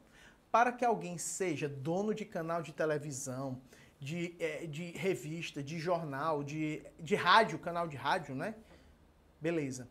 Ou então para ser diretor de programas de rádio, de televisão, o que for, precisa ser brasileiro nato ou naturalizado há mais de 10 anos. Está no artigo 222. Professor, peraí, repete. Não é qualquer pessoa que pode ser dona de um canal de televisão, um rádio, ou ter um jornal ou uma revista, não. Precisa ser brasileiro nato ou naturalizado há mais de 10 anos. Essa mesma regra também serve para alguém que seja diretor ou responsável pela programação. Brasileiro nato ou naturalizado há mais de 10 anos. Fica com essa terceira exceção que pouca gente sabe. Eu tenho certeza que dos seus candidatos, dos seus concorrentes, poucos vão saber também. Ok?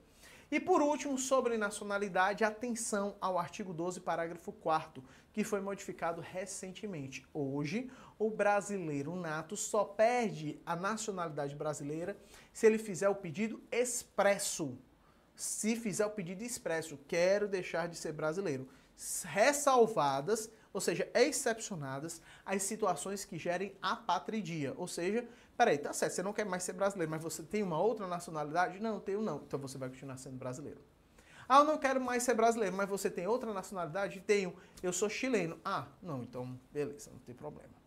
Professor, e se o brasileiro nato quiser é, é, é, que perdeu a nacionalidade, quis se arrepender e quiser voltar a ser brasileiro, ele volta como nato ou como naturalizado?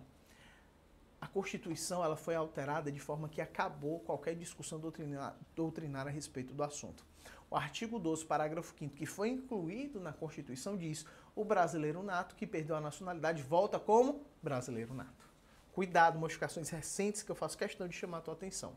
Perfeito? Tranquilo? Essa revisão aqui é total, é geral, é completíssima. Vamos para a nossa nona questão. De acordo com o disposto na Constituição, a criação e o desmembramento de municípios, opa, isso daqui vai estar tá onde? Vai estar tá lá no artigo 18, parágrafo 4 Artigo 18, parágrafo 4 Então vamos lá. Primeiro tem que ter o quê? Lei complementar federal, determinando o período. Ah, vai ser de 1 de julho a 31 de dezembro desse ano. Beleza. Mas tem que ter o período. Depois, estudo de viabilidade municipal. Depois, plebiscito da população diretamente interessada e, por fim, lei ordinária estadual. Só que o artigo 18, parágrafo 4 ele começa pelo final. Ele diz que se fará por lei ordinária estadual, depois disso, disso e daquilo. Então vamos atrás dessa lei estadual. Letra A. Então a criação e o desmembramento de municípios serão realizados por meio de lei complementar municipal? Já para por aí. B. Lei complementar estadual? Para por aí. Lei estadual, opa. Letra D, decreto estadual? Não. E letra E, lei estadual. Ou seja, logo de cara você já ficou entre a letra C e a letra E. Todo o resto está falso. Então vamos para a letra C. Lei estadual, dentro do período determinado por lei complementar federal, e dependerão de consulta prévia mediante plebiscito as populações diretamente, as populações dos municípios envolvidos, após divulgação dos estudos de viabilidade municipal. Ele está transcrevendo a literalidade do artigo 18, parágrafo 4 ok? Então, letra C, a resposta é correta. E a letra E, lei estadual, dentro do período determinado por lei complementar federal, e dependerão de consulta às populações dos municípios envolvidos mediante referendo, não mediante plebiscito. Qual é a diferença? O plebiscito vem antes, o referendo vem depois, ok? Um está no artigo 14, inciso 1, outro está no artigo 14, inciso 2. Então, nona questão, letra C. Não custa nada você lembrar aqui do artigo 18, parágrafo 3 criação de estados. Apenas dois passos. Primeiro, plebiscito da população diretamente interessada e depois, lei complementar federal. Não confundo parágrafo 3 criação de estados, com o parágrafo 4 da questão aqui, criação de municípios. Décima. É autorizada a intervenção do Estado no município quando? Opa, muito interessante acredito que possa vir a ter alguma questão acerca de intervenção, estado de defesa e estado de sítio. Então, intervenção, coloquei junto aqui na décima questão, acerca da organização administrativa do Estado. Depois, mais à frente, eu coloco uma questão sobre estado de defesa e estado de sítio. Sobre a intervenção do Estado, intervenção estadual, atenção às hipóteses do artigo 35. Lembrando o seguinte, intervenção estadual, durante a vigência de intervenção estadual, a Constituição Federal pode ser emendada? Pode. O que não pode é durante a vigência de intervenção federal. Mas de intervenção estadual não tem nenhum óbice, está lá no artigo 60. Cuidado com esse tipo de pegadinha, tá? Então vamos lá. É autorizada a intervenção do Estado no município quando não tiver sido aplicado o mínimo exigido da Receita Municipal na manutenção e desenvolvimento da Seguridade Social? Não são duas questões importantíssimas para o nosso legislador constituinte. É saúde e educação. Saúde e ensino. Saúde e educação. Saúde e ensino. Tá certo? Não à toa. Os maiores ministérios, secretarias estaduais, secretarias municipais são o quê? Da saúde e da educação. Então, letra B, não tiver sido aplicado o mínimo exigido na Receita Municipal na manutenção e desenvolvimento do ensino. Perfeito.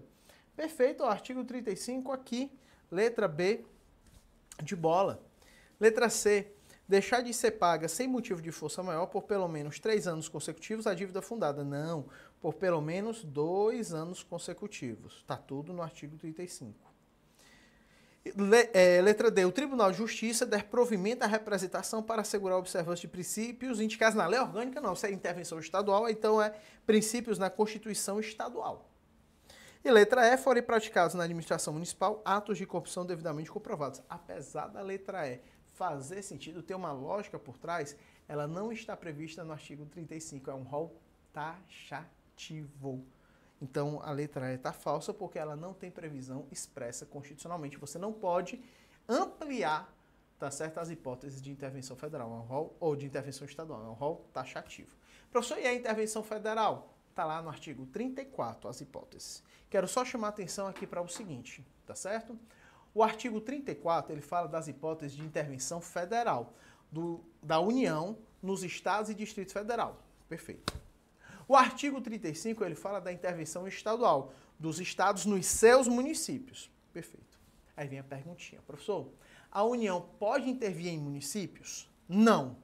Exceto se se tratar de município localizado em território federal. Ah, professor, hoje nós não temos território federal, então a União, na prática, não pode intervir em município. Se um dia nós tivermos um território federal criado por lei complementar, E se lá tiver município, aí sim a União pode intervir. Por quê? Porque o território federal não é ente federativo, não tem autonomia. Ele pertence à União, ele é controlado pela União. Por isso que a União pode intervir em município localizado em território federal, que não existe hoje, mas poderia. Perfeito. Então, você já sabe dessa pegadinha. Aí a segunda pergunta é: nessa situação, seriam as hipóteses do artigo 34 ou seriam as hipóteses do artigo 35? Seriam as hipóteses do artigo 35. Então, para a União intervir nos municípios localizados em território federal, seriam as hipóteses da intervenção estadual do artigo 35. Fica com essa dica, perfeito? Então, ó, volta aqui para a tela. Resposta da décima questão, letra B de bola. Vamos em frente, não tem ninguém cansado, tá só começando, tá certo? Vamos lá.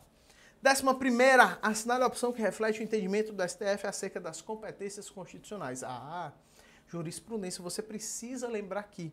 Competências constitucionais, nós temos duas, as competências administrativas, que não tem nada a ver com lei, que se divide em competência exclusiva e competência comum.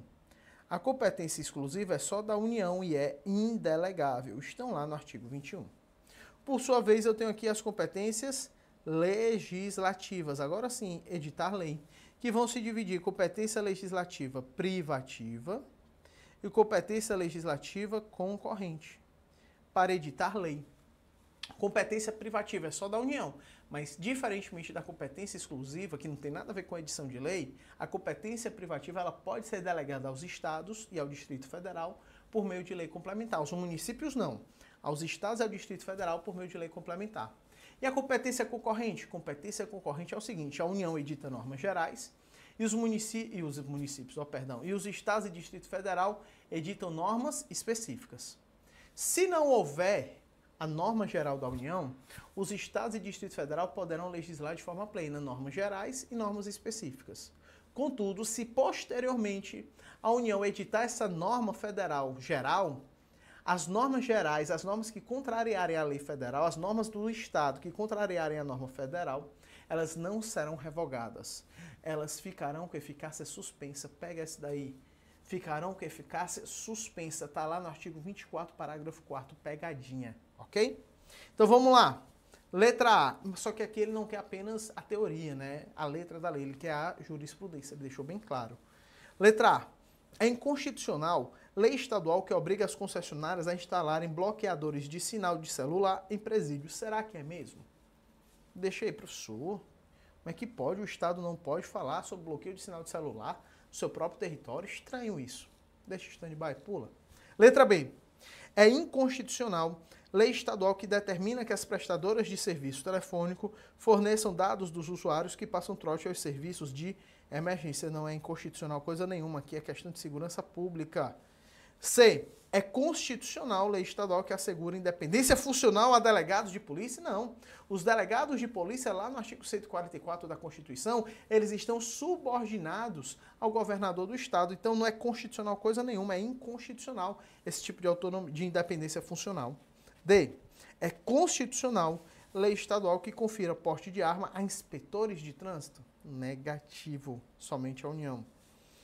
É, e letra E, é constitucional norma estadual que preveja a concessão de aposentadoria com paridade e integralidade de proventos a policiais civis. Não tem isso na Constituição e justamente o STF diz que isso é inconstitucional. Perfeito? Tranquilo? Então só nos restou a letra A realmente a letra A está verdadeira. É inconstitucional lei estadual que obriga as concessionárias a instalarem bloqueadores de sinal de celular em presídio. Professor, mas com base em quê?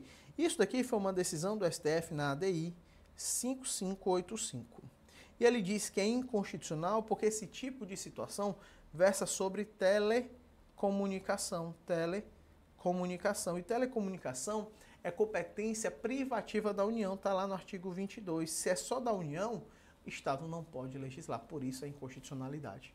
A gente pode concordar, discordar, mas o importante é que a gente tem que acertar questão. A verdade é essa, meu amigo, minha amiga. Hum. Vamos em frente, décima segunda. Aprovada pela Assembleia Legislativa de um Estado da Federação, determinada lei conferiu aos delegados de polícia desse Estado a prerrogativa de ajustar com o juiz ou autoridade competente a data, a hora e o local em que estes serão ouvidos como testemunho ou ofendido em processos e inquéritos. Perfeito. Nessa situação, a hipotética lei é, olha só, a lei estadual está falando sobre uma questão de processo penal. Processo penal é competência privativa da União, está lá no artigo 22, inciso 1. Se não tiver lei complementar federal delegando essa competência para os estados, essa lei estadual é inconstitucional, tá certo? Então, questão não falou disso, é processo penal, essa norma estadual é o quê? Inconstitucional.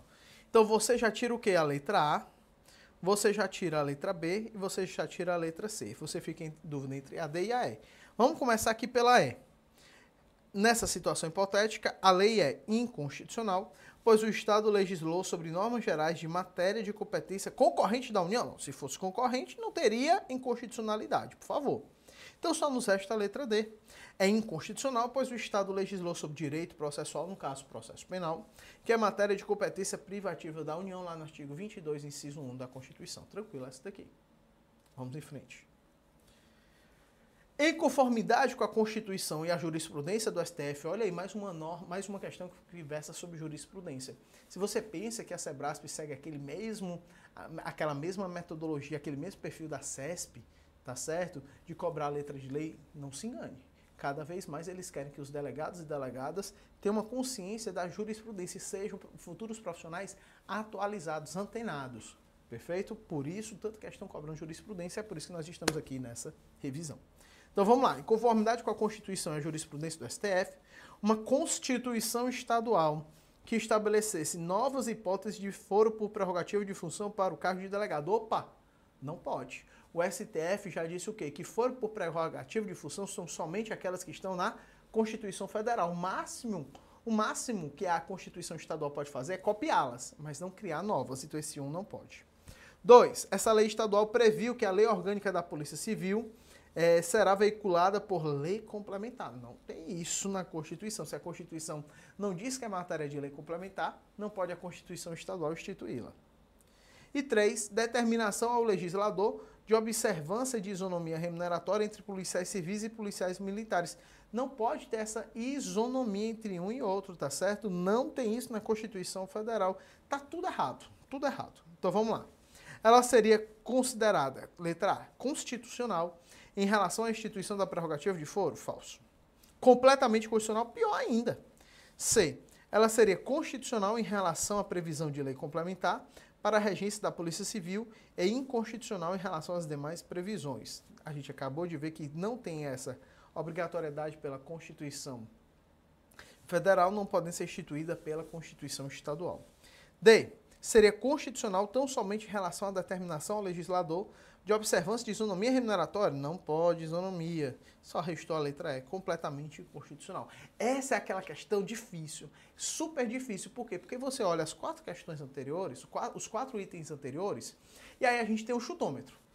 Né? Tanto na letra A, na letra B, na letra C, na letra D, ela está dizendo que em algum ponto ela é constitucional. Em algum ponto ela é constitucional. A única que diz que ela é inconstitucional em todos os pontos é a letra E.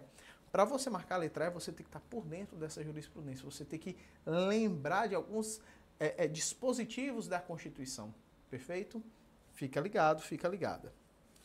Décima quarta, a respeito das medidas provisórias, assinar a opção correta. Medidas provisórias estão lá no artigo 62 da Constituição Federal. Você tem que lembrar que elas são editadas pelo presidente da República e tem um prazo de 60 dias prorrogável por mais 60 e que esse prazo de 60 mais 60 ele não conta durante as épocas de recesso do Poder Legislativo, perfeito? Ademais, se ela não for convertida em lei, o Congresso Nacional tem a obrigação de editar um decreto legislativo para regulamentar as relações jurídicas afetadas por ela. Você acha que o Congresso Nacional vai fazer isso? Eu nunca vi. Professor, mas é obrigação do Congresso, mas o Congresso não faz. E aí? E aí que as relações jurídicas afetadas pela medida provisória que perdeu vigência, elas continuarão sendo regidas pela medida provisória. O Constituinte deixou isso. Ora, era para ter um decreto legislativo regulamentando, não tem. Então, a partir de agora, volta ao que era antes. Mas você que foi afetado pela medida provisória continua sendo regido pela medida provisória. Cadê a questão de segurança jurídica? Né? Mas é justamente por isso que o nosso legislador, o Constituinte, deixou, porque sabia que o Congresso Nacional não ia editar esse decreto legislativo. Não vamos nos enganar. Tá certo? E além disso, a medida provisória, se ela fala de um determinado assunto, se ela fala de um determinado assunto, se ela tiver modificação por algum parlamentar, por algum deputado federal ou senador, essa modificação não pode acarretar aumento de despesa e tem que guardar a pertinência temática. Olha só, não pode acarretar aumento de despesa e tem que guardar a pertinência temática, tem que ser sobre o mesmo assunto, para evitar o que era chamado vulgarmente de jabuti, ou como o STF adora chamar, contrabando legislativo. Eu tenho uma medida provisória falando aqui sobre é, questão, tribu, é, questão tributária, não, tem uma medida provisória falando aqui sobre uma questão de é, Seguridade Social, vem um parlamentar e diz, não, mas eu quero fazer uma homenagem, aqui, uma homenagem aqui criando o dia do não sei o quê. Não tem pertinência temática, não pode. Tá certo? Isso daí. Então, atenção a, a tudo isso que eu falei agora. Então vamos lá. Sob medida provisória te vira, né? A questão fala assim, assinale a opção correta, a letra A. O Poder Legislativo pode emendar projeto de lei de conversão de medida provisória. Realmente pode quando a emenda estiver associada ao tema e à finalidade original da referida medida. A letra A já é o que é a resposta correta. Mas olha a letra B. É vedado ao Poder Judiciário, sob pena de violação do princípio da separação dos poderes, realizar o controle dos pressupostos de relevância e urgência das medidas provisórias. Não é vedado coisa nenhuma. Agora, o Poder Judiciário tem que ser provocado. Perfeito? C. É constitucional, lei decorrente de conversão de medida provisória cujo conteúdo normativo caracteriza a reedição na mesma sessão legislativa de medida provisória que ainda não tenha sido apreciada pelo Congresso? Não. Olha só, se a medida provisória não foi transformada em lei, ou se ela perdeu a vigência, caducou, eu não posso apresentar uma medida provisória de idêntico teor na mesma sessão legislativa, é que nem a emenda constitucional. Eu tenho que esperar o ano seguinte. Por isso, letra C está falso. Não pode ter reedição na mesma sessão legislativa. Letra D. O trancamento de pauta em razão de medidas provisórias não votadas no prazo de 45 dias atinge projetos de lei complementar? Não. Atinge outros projetos de lei ordinária. Lei complementar, não. E não é possível a edição de medidas provisórias que digam respeito ao meio, ao meio ambiente. Claro que é. Tem essa vedação. As vedações sobre o conteúdo de medida provisória estão lá no artigo 62, parágrafo 1 E meio ambiente não está dentro da vedação. Assim, a letra A é a resposta correta. E olha como a Sebrasp adora isso daí. O chamado contrabando legislativo, que é o contrabando legislativo, a inserção de outras matérias a um projeto do presidente da República ou de medida provisória que não tem nada a ver uma coisa com a outra. O jabuti, o que a gente estava falando na letra A da questão anterior. Então, o chamado contrabando legislativo caracteriza-se pela existência de iniciativa de projeto de lei com assunto de competência de lei complementar? Não. Emenda parlamentar com matéria estranha a projeto de conversão de medida provisória em lei. Pronto, está aqui. Uma questão comparado com a outra. E olha só, uma de 2022 na Paraíba e a outra em 2022 no Espírito Santo. Então tem alguma questão de processo legislativo. Tem alguma questão de processo legislativo. Por isso que eu estou chamando sua atenção. Nada é à toa. Nada é à toa. Décima sexta. Em relação às possíveis imunidades, opa, as imunidades parlamentares, elas estão lá no artigo 53. As imunidades parlamentares, elas estão no artigo 53. E elas se dividem em duas. As imunidades materiais é a inviolabilidade pelas palavras, votos e opiniões proferidas em ração do mandato, estão lá no caput do artigo 53. E as imunidades formais ou processuais, que estão lá é, é, nos parágrafos primeiro em diante do artigo 53, parágrafos 1 e seguintes do artigo 53. Perfeito? Chama a atenção. As imunidades parlamentares do artigo 53, elas são aplicáveis para deputados federais e senadores. Contudo, os parlamentares estaduais também têm as mesmas imunidades. Agora, detalhe, em relação à prerrogativa de foro, o deputado federal ou senador será processado criminalmente no STF. Em relação ao deputado estadual, o respectivo TJ. Então, nós temos que fazer essa simetria. E por fim, o parlamentar municipal, o vereador. O vereador não tem imunidade formal. O vereador tem apenas a imunidade material, a inviolabilidade por suas palavras, votos e opiniões proferidas em razão do mandato de vereador, limitada à circunscrição do município. Então, saiu do município, já não tem mais a imunidade. Perfeito? Sendo assim, letra A. A imunidade material se estende indiscriminadamente aos membros do Poder Executivo, detentores de mandato eletivo. Não. Em relação ao vereador é diferente, então não é indiscriminadamente coisa nenhuma. B. Recebida a denúncia por crime ocorrido antes da diplomação, O STF dará ciência ao parlamento para eventual suscitação da ação? Não. As imunidades elas são a partir da diplomação. Então, se é antes, tá fora. C. A imunidade diplomática não se aplica aos familiares, tampouco aos empregados particulares estrangeiros dos diplomatas. Se aplica sim, tá certo? Se aplica sim aos familiares. D. A imunidade é renunciável por parte do diplomata, não é? Nenhuma imunidade, seja ela parlamentar ou diplomática, ela é renunciável, porque ela protege o cargo e não a pessoa. Então, se você está no exercício daquele cargo, você tem aquela imunidade, ainda que você queira abrir mão, mas você não pode. É irrenunciável. E letra E, e perceba aqui que a questão ela cobrou imunidade parlamentar com imunidade diplomática, enfim. E letra E, a imunidade formal ou processual não se estende aos vereadores. Perfeito. Só se estende a imunidade material no território do município no qual ele é vereador. Então tá aí, 16 letra E. 17, de acordo com a Constituição, é função de chefe de governo exercida pelo presidente da República. Então você tem que ir para onde? Você tem que ir lá para o artigo 84. 84. Perfeito? Uma coisa que chama atenção.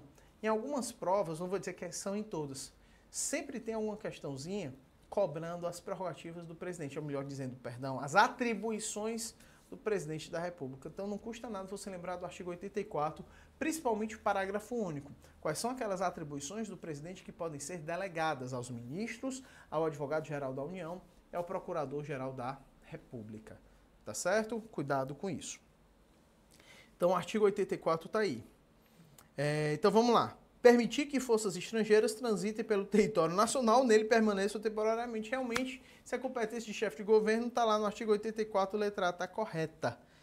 Só um detalhe, para alguns doutrinadores, tal competência, uma vez que tem relação aqui com outros países, trata-se de verdadeiro o quê?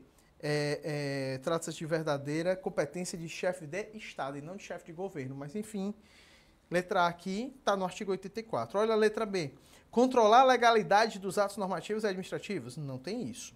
Fixar limites globais para o montante da dívida imobiliária? Isso é poder legislativo. Requisitar e designar membros do MP? Não. Dispor sobre os limites globais para operações de crédito externo e interno da União? Isso é o que? Senado Federal. O único que está no artigo 84 é a letra A. Então, acabou, no final das contas, que não precisou, tá certo aqui, uma questão de entrar na polêmica se seria função de chefe de governo ou de chefe de Estado.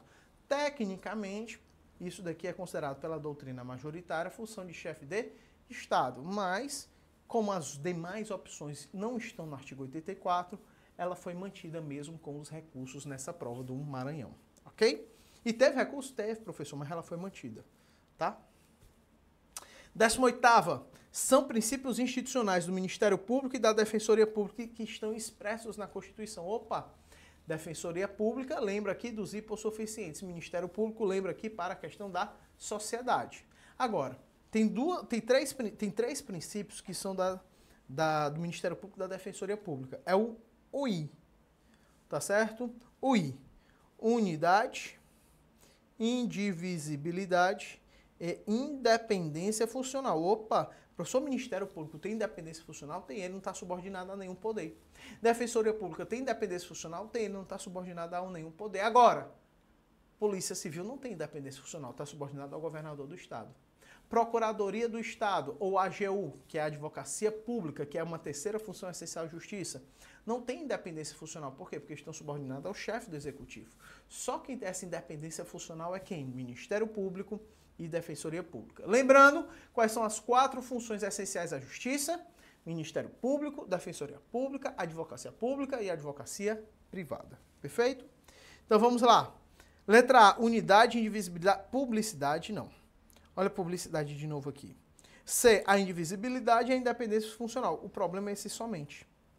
Letra D, a unidade e a publicidade não tem publicidade. Então restou a letra E, unidade, indivisibilidade e independência funcional. Uma questão que eu coloquei aqui para a gente lembrar esse aspecto. E aí a gente passa para falar de estado de defesa e estado de sítio, tá? Aqui a 19 questão ela vai cobrar do estado de defesa. O estado de defesa você está lá no artigo 136. Lembre-se, o estado de defesa ele pode ser prorrogado por até 30 dias e prorrogável uma única vez por mais 30 dias. Assim que o presidente decreta. Vem comigo aqui, vem comigo aqui, ó. Quero, quero muita atenção sua. Então, Estado de Defesa, um artigo só da Constituição, 136. Quando o presidente decreta, ele decreta por até 30 dias e pode ser, e pode ser prorrogado mais uma vez, uma única vez, por mais 30 dias, né? Perfeito, tranquilo.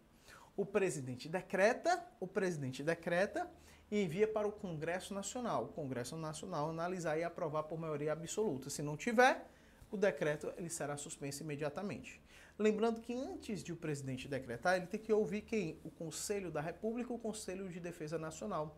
Mas estes conselhos, tá certo? Essa oitiva, elas são o quê? Essas oitivas, elas são facultativas, perfeito? Essas oitivas, é, é, aliás, perdão, a oitiva é obrigatória. Agora, detalhe, se o Conselho da República e o Conselho de Defesa Nacional, eles forem contra, o presidente da República ainda assim pode decretar o estado de defesa? Pode. Porque apesar da oitiva ser obrigatória, os pareceres não são vinculantes, são meramente consultivos, Conselho da República e Conselho de Defesa Nacional, ok? E as medidas restritivas estão ligadas à questão de restrição de direitos fundamentais. Já o estado de sítio, que está no artigo 137, 138 e 139, ele é mais gravoso. Por quê? Começa logo pela forma de decretação o presidente, diferentemente do Estado de Defesa, antes dele decretar, obviamente, ele tem que ouvir também o Conselho da República, o Conselho de Defesa Nacional, e depois disso ele solicita autorização ao Congresso Nacional. Ele só pode decretar estado de sítio depois que o Congresso Nacional autorizar. Tá certo? É o que se chama de controle prévio. Perfeito. A depender do caso, podem ter consecutivas prorrogações no estado de sítio. E as medidas restritivas não são apenas restrição de direitos fundamentais, mas também suspensão de direitos fundamentais, como a suspensão da liberdade de reunião. Tudo mais gravoso. Combinado? Perfeito? Volta para a questão. Então, a decretação do estado de defesa, de acordo com o disposto na Constituição, autoriza a adoção das medidas de intervenção nas empresas de serviços públicos? Não. Isso daqui é lá no estado de sítio. Incomunicabilidade do preso? Não, não pode ter incomunicabilidade do preso em nenhuma situação. Busca e apreensão em domicílios? Não, isso daqui é do estado de sítio. Obrigação de permanência em localidade determinada? Não, isso daqui é do estado de sítio. Só tem o quê? Restrição ao direito de sigilo de comunicação telefônica, que está lá no artigo 136. Todos os outros são do, do estado de sítio, lá no artigo 139. Perfeito? Combinado? Então, letra E, a resposta correta. Vamos para falar de administração pública. Vamos lá. Assinale a opção correta de acordo com a Constituição. Letra A. Desde a promulgação da Constituição, não houve até o presente inovação a respeito dos princípios constitucionais da administração pública por meio de emenda constitucional, que é isso? E o princípio da eficiência lá no artigo 37 foi através da emenda constitucional 19 de 98, reforma da administração. Então, ó, letra A já está o quê? Falsa. B.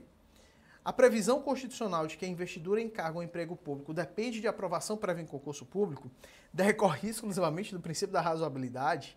Não, que é isso, legalidade, moralidade, impessoalidade, concurso público serve para isso, para nós selecionarmos os melhores, os mais capacitados, os melhores delegados e delegadas da Polícia Civil do Estado de Pernambuco. É para isso, tá certo? Para a gente evitar o quê? dedinho político, costas largas, o QI, o famoso que indica, tá certo? C. Em oposição ao que diz o texto constitucional, o STF já se posicionou contrário à cobrança de contribuição previdenciária dos serviços públicos aposentados e pensionistas. Opa, opa, opa. Contra a cobrança de contribuição previdenciária? Não. Tá certo? Se voltar a trabalhar, volta a contribuir. E se não tá, se voltou a trabalhar, pode ter contribuição sim. Tá certo? Então, letra C tá falsa. D. Caso um deputado estadual nomeie sua tia materna como assessora de seu gabinete, não haverá violação à súmula vinculante que trata do nepotismo. Que súmula vinculante é essa? É a de número 13. Pois esta veda da nomeação de colaterais de até o segundo grau. Não, não, não, não, não, não. Nepotismo, a súmula vinculante número 13 veda do nepotismo direto e o nepotismo cruzado. O STF tem uma jurisprudência que fala o seguinte: que a súmula vinculante número 13 no nepotismo não se aplica para cargos políticos de primeiro escalão. O presidente para os ministros, o governador para os secretários estaduais. E o prefeito para os secretários municipais aqui é para ser o quê? É para ser, cadê? Assessora do gabinete. Não pode, não pode, tá? E letra E, mais uma vez, segundo o STF, candidato aprovado em concurso público dentro do número de vagas previsto no edital e dentro do prazo de validade do certame, terá direito subjetivo à nomeação. Perfeito. Tanto que, se você estiver aprovado dentro do número de vagas e você não for chamado no prazo do, de validade do concurso, você pode impetrar o quê? O mandado de segurança. E aí, o poder público, o órgão, vai ter que provar os motivos pelos quais não te chamou, mesmo você tendo sido aprovado dentro do número de vagas. Diferentemente ocorre com quem está no cadastro de reserva. Por quê? Porque tem uma mera expectativa de direito. Perfeito? Vigésima primeira. De acordo com o entendimento dos tribunais superiores, lei municipal que impedir a instalação de mais de um estabelecimento comercial do mesmo ramo em determinada área do município será considerada inconstitucional por ofender o princípio da livre concorrência, inconstitucional por ofender o princípio da busca do pleno emprego, constitucional por versar sobre assunto de interesse exclusivamente local, constitucional por não ofender o princípio da defesa do consumidor, inconstitucional por ofender o princípio da propriedade privada. E aí, professor? E aí? E aí, meu amigo, minha amiga?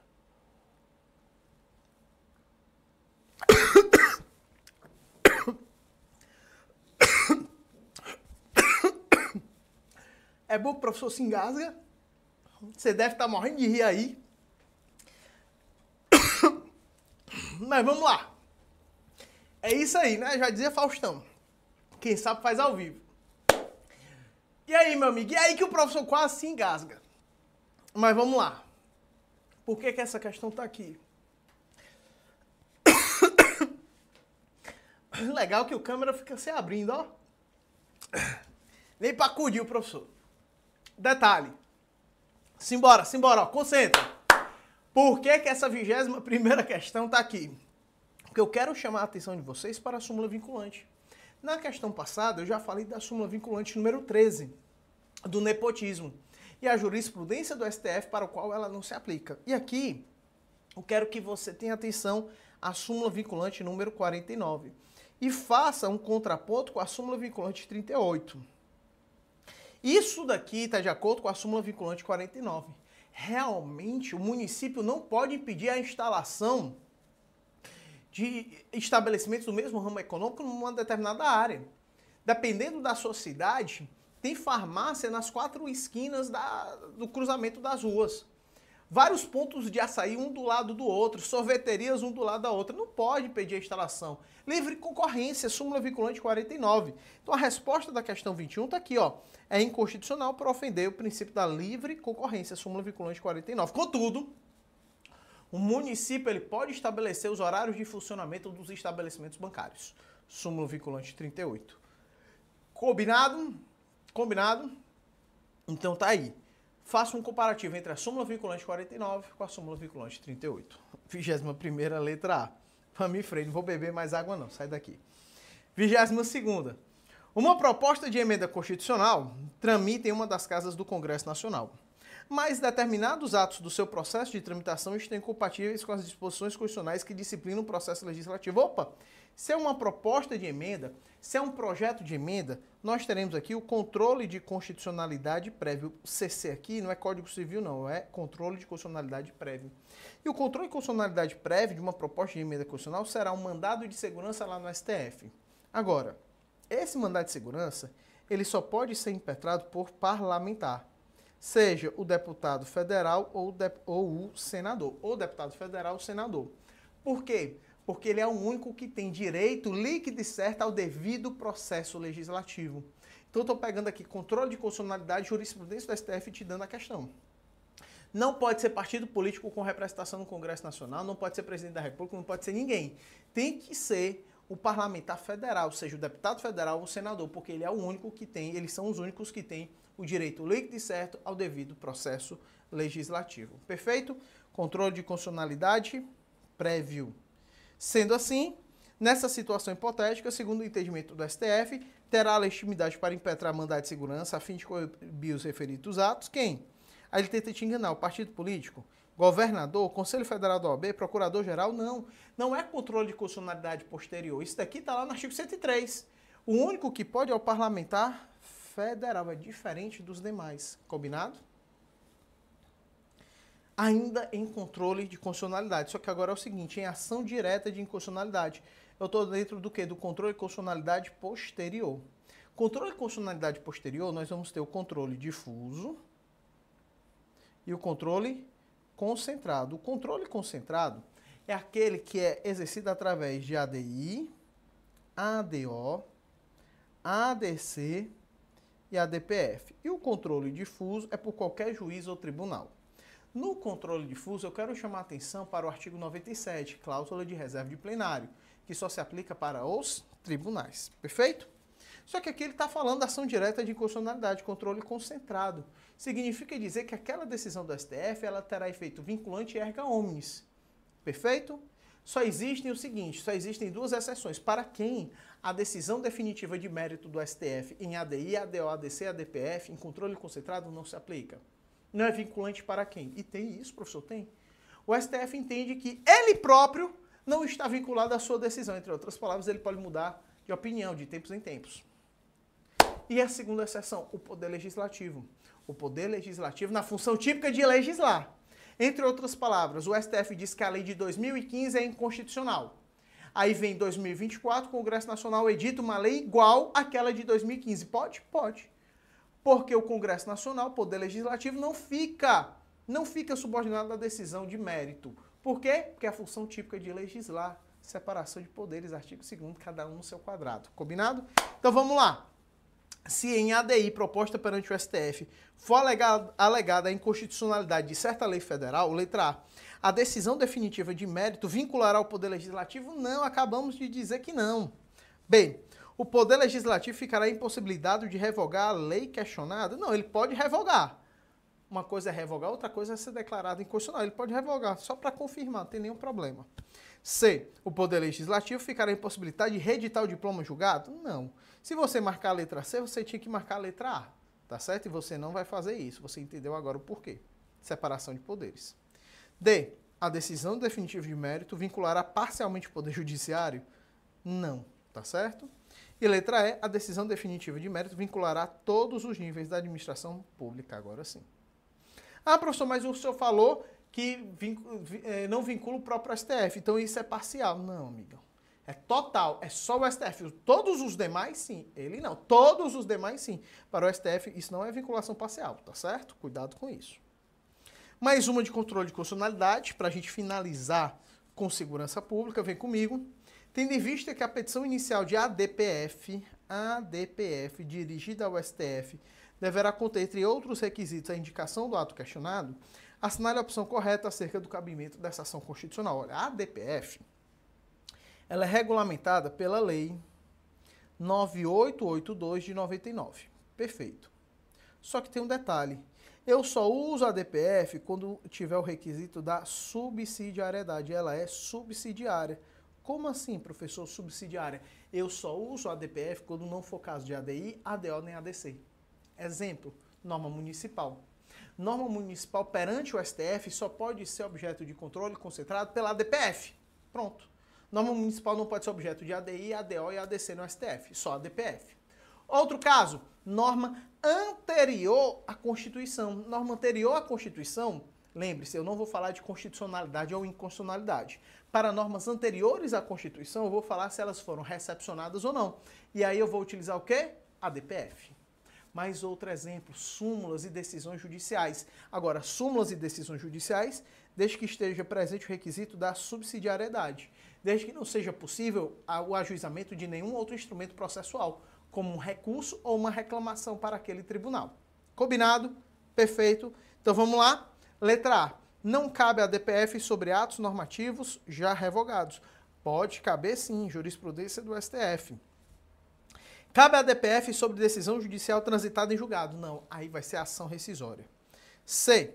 Se uma norma pré-constitucional, opa, antes da Constituição, já fosse inconstitucional no regime constitucional anterior e existisse um precedente do STF que reconhecesse essa inconstitucionalidade, Caberia a DPF contra essa norma pré-constitucional? Não, porque já reconheceu a inconstitucionalidade, não cabe à DPF. A questão já está pacificada, já está decidida. Aquela norma, ela nem existe mais quando da promulgação da Constituição de 88. Antes da Constituição de 88, ela já deixou de existir, então a gente não pode nem mais falar dela. Perfeito? Muito interessante essa letra C. Inteligente a redação, mas está errada. D. Não cabe à DPF sobre ato normativo municipal. Cabe. Subsidiariedade. Então, letra E. Cabe à DPF sobre ato de efeitos concretos como decisões judiciais e súmulas.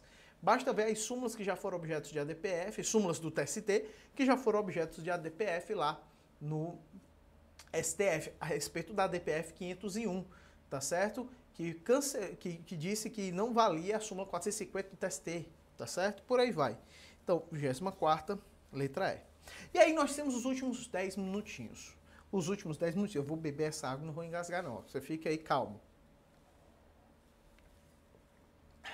Pronto. Pronto, tá certo? Pronto. Obrigado para aqueles que me, me desejaram boa sorte. Bebendo água. Até que ponto chegamos? Qual é o último ponto? Esse é o mais importante de todos, porque com certeza terá uma questão lá. Ele pede os artigos 101 a 105b da Constituição do Estado de Pernambuco. Que artigos são esses? São os artigos relativos à segurança pública. E eu trouxe para você na revisão. Aqui, ó, artigo 101. A segurança pública, deixa eu colocar o um marca-texto, dever do Estado, direito e responsabilidade de todos, é exercida para a preservação da ordem pública, da incolumidade das pessoas e do patrimônio, e asseguramento da liberdade e das garantias individuais através dos seguintes órgãos permanentes. Quem? Você aqui na Polícia Civil, futuro delegado de carreira, Polícia Militar, Corpo de Bombeiros Militar e Polícia Penal, que é vinculada ao órgão administrativo do sistema penal, ao órgão administrador do sistema penal. As atividades de segurança pública serão organizadas em sistema na forma da lei, não precisa ser lei complementar, lei, lei ordinária, basta. E cabe ao governador do estado, assessorado por um conselho de defesa social, o estabelecimento da política de defesa social e a coordenação das ações de segurança pública. Perfeito. Está apresentando o sistema de segurança pública para todos os cidadãos. Artigo 102. A Polícia Civil, a Polícia Militar e o Corpo de Bombeiros Militar, integrantes da Secretaria de Estado responsável pela defesa social e a Polícia Penal vinculada ao órgão administrador do sistema penal, regular-se-ão por estatutos próprios que estabelecerão organização, garantias, direitos e deveres de seus integrantes, estruturando-os em carreira, tendo por princípio a hierarquia e a disciplina. Tendo por princípios, né? Mas estava lá no singular.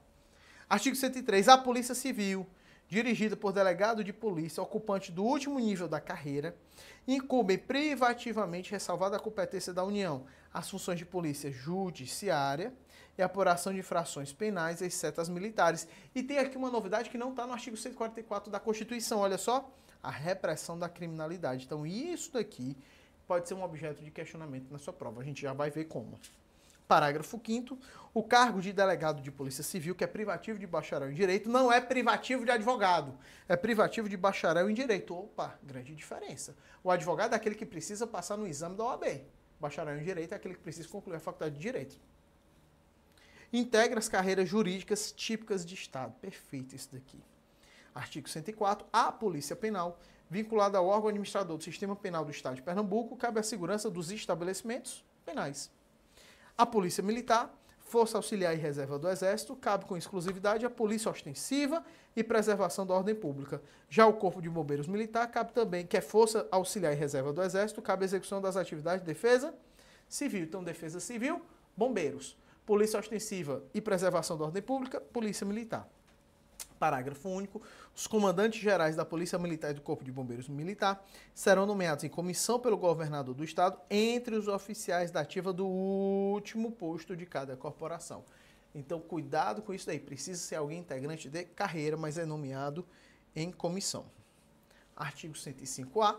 Os municípios poderão constituir guardas municipais destinadas à prevenção, proteção e preservação de seus bens, serviços e instalações e artigo 105b fala da segurança viária, exercida para a preservação da ordem pública e da incolumidade das pessoas e do seu patrimônio nas vias públicas.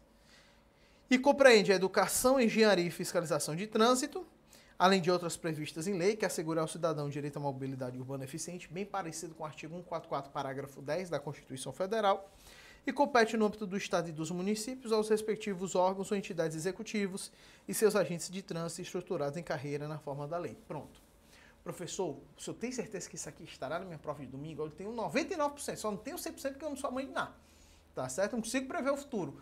Mas é o feeling que eu tenho, é a análise da banca, é toda a experiência acumulada nesses últimos 10 anos como professor de concurso público, tá certo? Então vamos lá. Como é que isso pode ser cobrado na sua prova? Vou te mostrar agora. Quatro questõezinhas. Primeira, vamos pegar o que já foi cobrado. De acordo com o texto constitucional. Mas por que, é que eu mantive aqui? Porque apesar dele pedir o texto constitucional, Constituição Federal, isso se aplica de forma semelhante à Constituição do Estado de Pernambuco.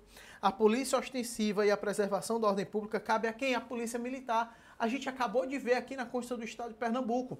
Então, ó, resposta, polícia militar, letra D. Perfeito. Primeira coisa é isso aí, as funções de cada uma. Próxima questão.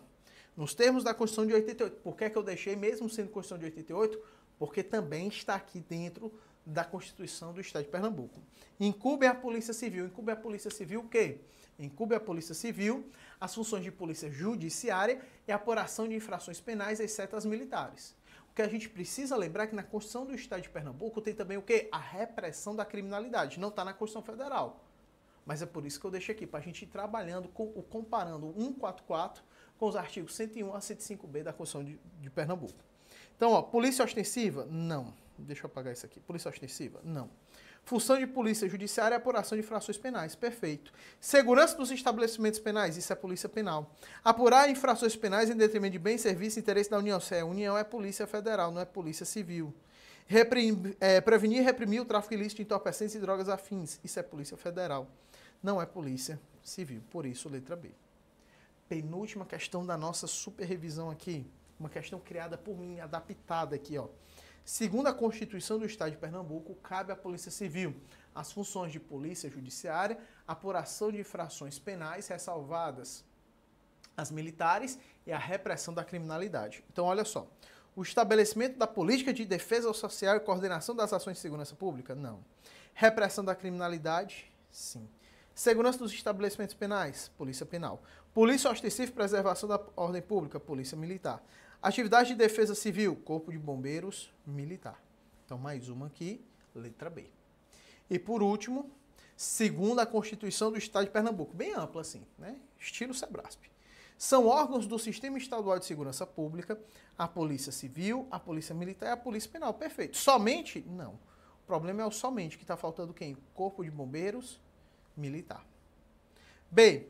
As atividades de segurança pública serão organizadas em sistema, na forma de decreto de competência do governador. Na forma de decreto de competência do governador, não na forma de lei. Eu até acabei de dizer, não precisa ser lei complementar, pode ser lei ordinária estadual. Não é decreto também, decreto é infralegal. Lei. C. Cabe ao governador do estado, assessorado por um conselho de defesa social, o estabelecimento da política de defesa social e a coordenação das ações de segurança pública. Perfeito. É o parágrafo 2 do artigo 101 da Constituição de Pernambuco. Letra C é a resposta correta.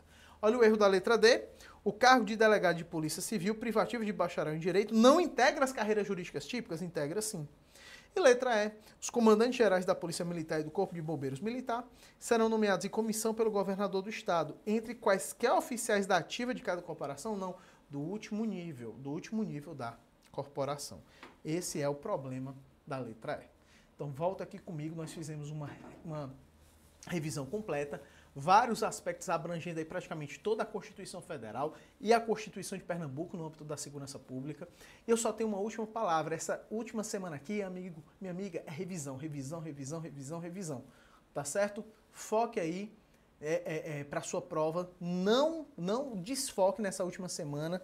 É um compromisso, uma disciplina que você deve ter consigo mesmo. Perfeito? Desejo então uma boa prova, sucesso. Eu e todos os demais professores do Juiz 21 aqui queremos a sua aprovação. Pode ter certeza disso. Um grande abraço e até a próxima oportunidade. Valeu!